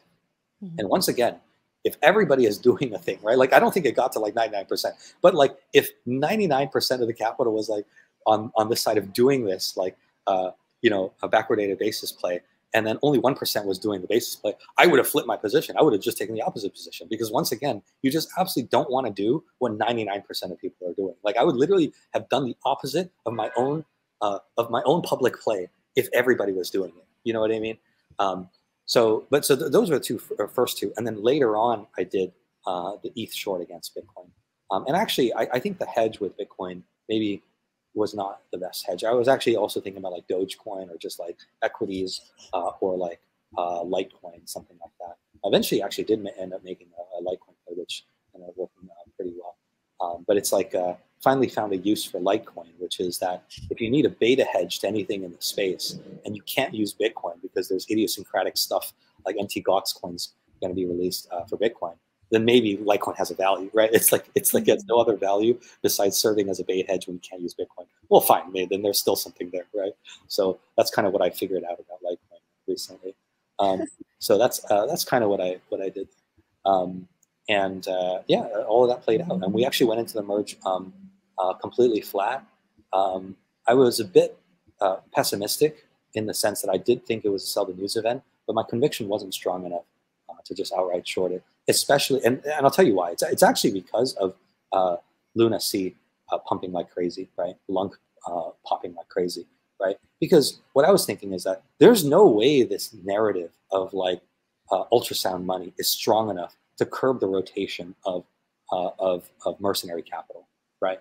But then, like I saw, like LUNC, right, and they said we're going to tack on like a 1.2, 1.4, I forget how much it is, transaction tax on chain, right, and we're going to make it deflationary, right, and it's terrible. I mean, like the, the, you're just moving numbers around. This is it doesn't change anything fundamentally, right? You, whatever you do, like you're just like shifting shit around. Um, so there's no way that that could work, right? Yet price pumped not just a little bit, but price pumped insanely, right? And I thought, off of such a stupid narrative, it can pump that much. Like maybe I'm just trying to pick up pennies in front of steamroller here. I better get out the way. Maybe this maybe this narrative thing is just way too strong. This ultra ultrasound money, as if the supply side even mattered in in the current times, right? It's all it's all demand driven anyway. Like how much of the price is driven by demand? Like 90, 99 percent. Who knows? Like tons, right? Uh, supply is just like a rounding error on that uh, on, on, you know what, what, what actually affects price, right? But like, could people believe it? Like maybe, I mean, like LUNC popped like crazy. So like, do I really even want to risk it? So I was like, oh, maybe I better, I better not short. So actually, in some ways, uh, you know, the, the lunatics got their revenge on me because they actually prevented me from making money. If it wasn't for their coin popping, probably would have uh, would have shorted uh, Ethereum into the and uh, you know made made a nice bit of it. So yeah, fairly ironic how all that all that works out. You know right. Yeah. Do, do you do you think that um, there is a role for ETC in the future of ETHPOW as this plays itself out? Uh, given yeah. that, sorry, ETHPOS. Um, given that ETHPOW has kind of diverged from the original ethos uh, and governance of of ETH1 and ETC kind of has persisted, but without all of the apps that that existed on ETH1. Yeah, you know what I think is that I think ETC and ETHPOW are going to be uh, very close competitors, and um, because they're both like um, kind of like unbuilt out versions of ETH, and they have to compete with each other on hash rate, which has um, you know, there, there's always this whole thing, this price drive hash rate, this hash rate drive price. It's really circular, right? Like the whole thing is like uh, reflexive on itself, right? So um, they drive each other in a way, right? Um, so um, so they're going to compete with each other a lot on both price and, and, hash power. I actually think that both of them compete less with ETH POS than they do with each other, and I think it'll be interesting to see how that uh, battle plays out. Right now, there's still some competition between ETH POW and ETH POS uh, just because like we're so close after like the merge. but eventually that competition will just start dying off, and then it'll just mostly be between BTC and ETHPOW. Is ETHPOW currently overpriced at this target, given that uh, most development activity is moving off of it? Uh, I don't make any price predictions about things. You know, most of uh, most of like my, my ideas that um, I want to you know be public about. I just put on Twitter. Like I'm I'm very careful about not shilling uh, things, um, you know, on, on public venues, on public platforms. Um, so I don't have a, a, very strong opinion about Keith Powell. Uh, I will say that for us, what we did is that in the first block, we are able to win the gas auction and uh, dump a lot of e proof of work ERC20 coins for ETHPOW. Ended up with a bunch of that and sold that off very quickly. Uh, so that's what we did. Currently, we don't hold any ETHPOW. Will that prevent us from holding it in the future or even expressing a short bet on it? No, uh, but I think you know we're waiting to see right now. I'm not too keen to buy. I'm not too keen to sell right now. Um, at a at a certain price, if it's too low, I would be a buyer. And if there's a price, if it's too high, I'd be a seller. So it's between those two prices right now. So we're flat. Okay, if and when the Zerg overrun Aiur, may the Khalai Protoss finally sever their cords, shun the Khala, and don their cloaks. We will be here to welcome them to Shakuras. Even though they are ingrates, uh, they are still our brethren. Um, yeah, so um, you know the analogy that I drew recently. The reason I use this particular analogy um, is because the thing, the issue that I really had with the merge um, isn't really that it was going to happen. It was more about the narrative that surrounded it, and there was something of that narrative flavor which reminded me of Luna. Once again, I'm not saying Ethereum is anything like Luna. It is way, way better. It's night and day compared to Luna. But there's something about the marketing effort right? And the narrative that surrounds these types of events, that there's something toxic and cancerous within the space that needs to be rooted out. And I think really the thing that I put my finger on is it's like this the narrative construction itself, right? The idea of creating narrative to create exit um, liquidity for long investors, VCs, and founders to dump on retail. This is extremely unhealthy. Um, and I think that until that stops, we we can't really get like another bull run, right? Because continually the sentiment within retail is that they get ripped off over and over and over again, and it's not stopping. And there needs to be kind of like a quiet period where they stop getting ripped off, and then they develop the courage again to come back into the market to spur on the next bull run, right? So that's why I think you know a lot of these narratives are just not very healthy. And when I talk about the Protoss, um, the Khalai Protoss, which are the light Protoss, uh, and then uh, the Nerazim, which are the dark Protoss, the difference between them is that the, initially the Protoss, they were all um, kind of like telepathically linked through, uh, basically they have these cords on the back of their head that allow them to be telepathically linked and hence have like kind of like um, telepathy and a shared hive mind.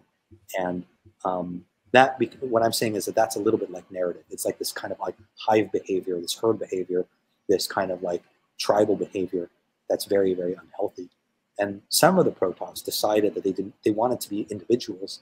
They no longer wanted to just be part of the collective, and they severed their cords, and thus, you know, were their own person, and they were banished for their independent thought, for their heresy, right? Because they're a very religious kind of race, for their heresy off of the home world of Aiur to basically the shadow world uh, called Shakuras, right?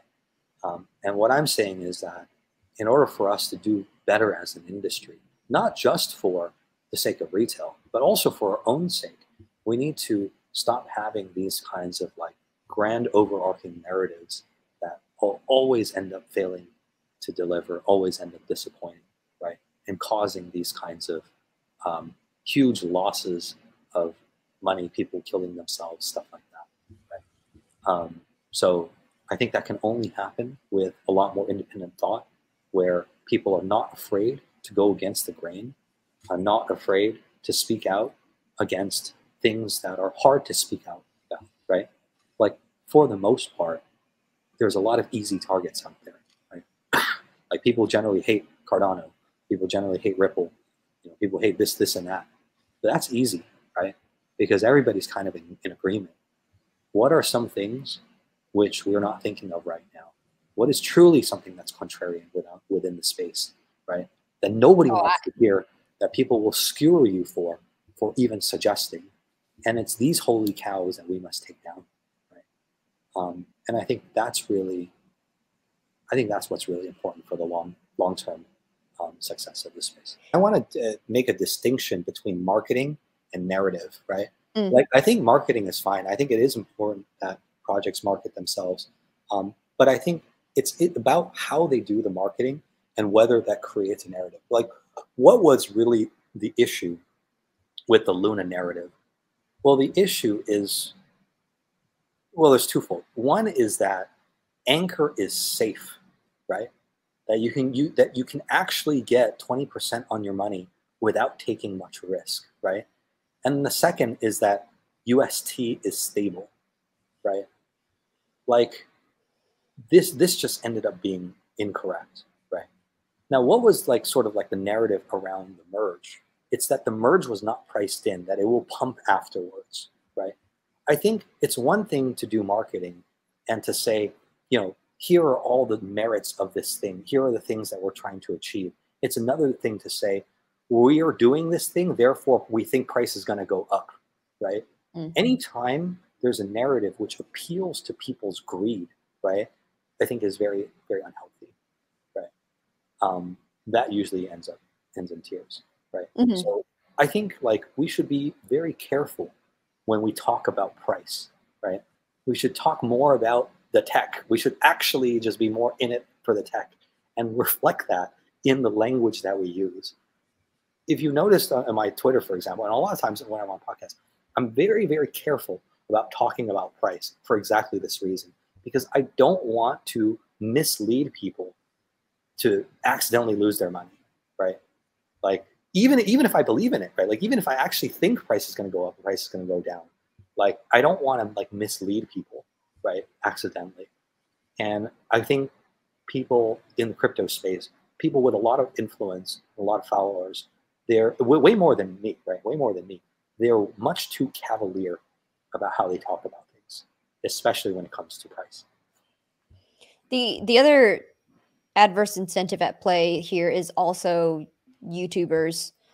Um, I mean, you know, I'm I'm post- posting this on YouTube obviously because it's a great distribution medium. But that being said, there's all these new influencers that have come in in 2020 and 2021 with hundreds of thousands of subscribers, sort of pivoting their channel to cryptocurrency and then basically making a 10 minute video about the price action of some coin mm-hmm. whose coin project in the background has paid them you know a sum of money to to to make that video you know how do you how do you solve that problem and, you know the uh, thing I don't with, think that's solvable i, I actually don't not. think that's solvable right. I, I think um, that only gets solved by the market itself in the super long term when eventually these people lose reputation they basically monetize their influence for payment right mm-hmm. and eventually um, people get burned on it. These people are no longer as influential, and then things move on. And then there will be a new crop of people doing the same thing. But yeah. eventually, re- retail itself just gets smarter and eventually realizes, oh, maybe I shouldn't listen to any YouTube influencers about price, right? Or I should really think about it myself too and do the research myself, right? Um, so eventually it gets better, but we're, we're going to have to go through a couple of Yeah. Yeah. It only took yeah it only took the market 10 plus years to realize Jim Cramer is just trading against them. Probably longer than that, honestly. Yeah. Probably longer than that. I don't even know if like the entire normie crowd uh, even understands that yet, right? But over time, it, just, it takes it takes a lot of time. Um, and I would also say the one thing that helps is that for a lot of the crypto OGs and the old heads, for them to have at least some kind of, let's say, social consensus, right? That like this kind of behavior is not good, right? That like we should all try and do the cooperate, cooperate uh, outcome instead of the defect, defect outcome, right? like like for example, I don't have that much of a following, but right now, like I could probably run a grift, right? Like because people know that I called Luna correctly, that for the most part, I'm not as correct, but for the most part, called the merge correctly, and at least the plays that I suggested made money. I could literally pick any coin right now and probably say, "Hey, I think we should just all buy this coin, right?" Or "I'm going to buy this coin, right?" Um, but that would be irresponsible, right? I, I would say, first of all, I would ask all of the influencers to first consider their own perspective, which is that is their reputation only worth that much? That they're just going to monetize it, that like they're basically going to flip the switch into monetization when there's so much growth left in Silicon Valley terms, right?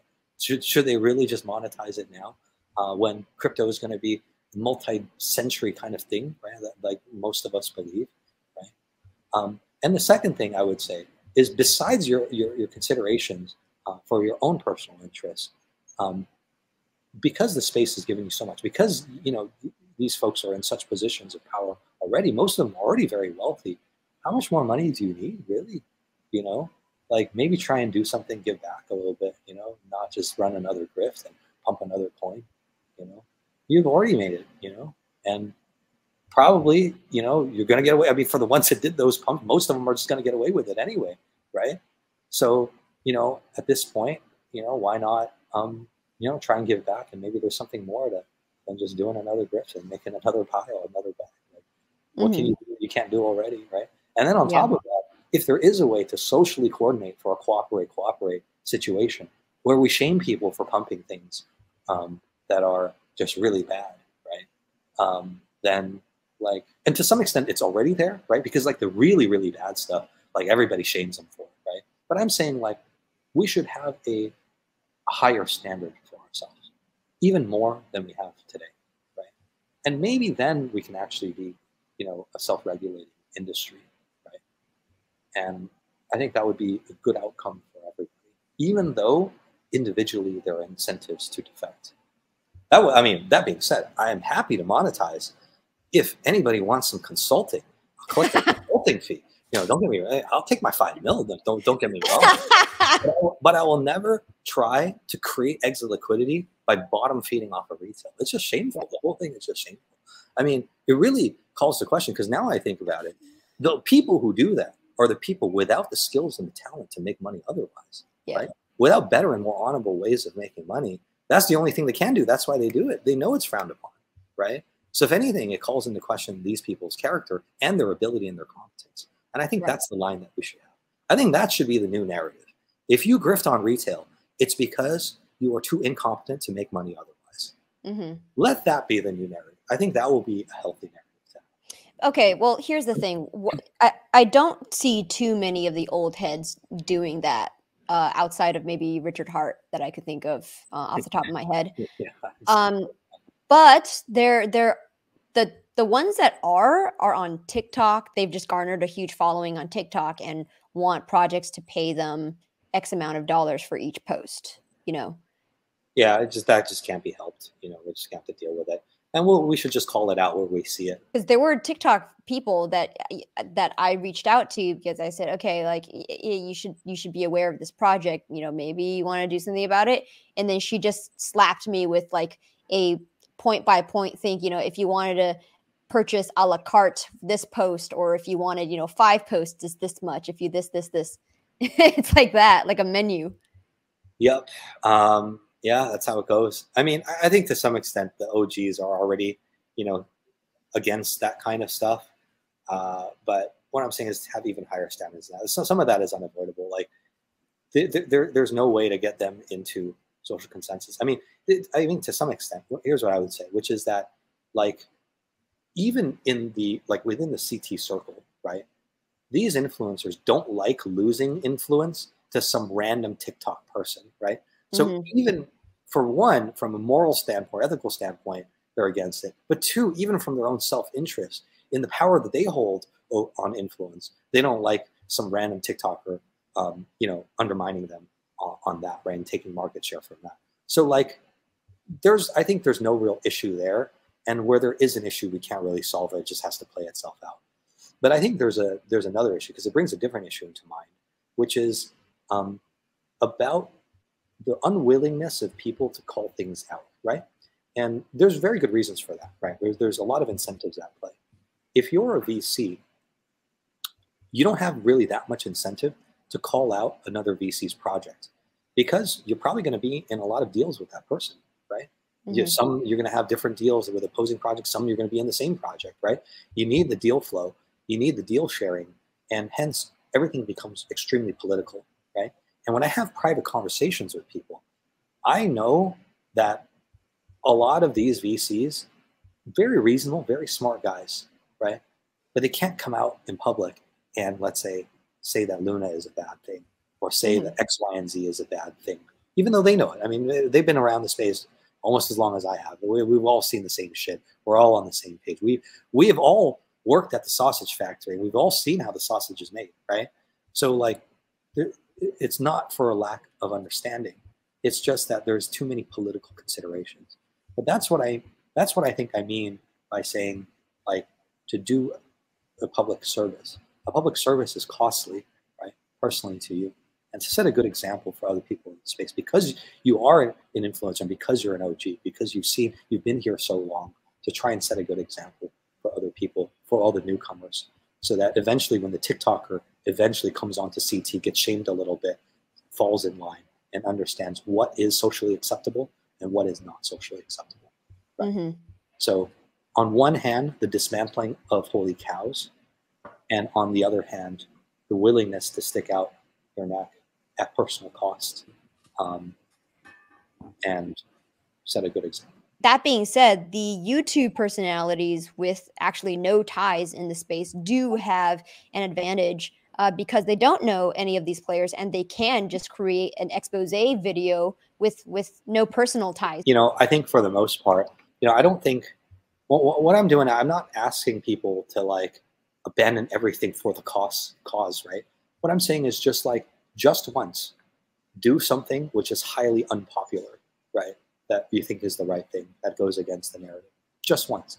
Everybody just does it once.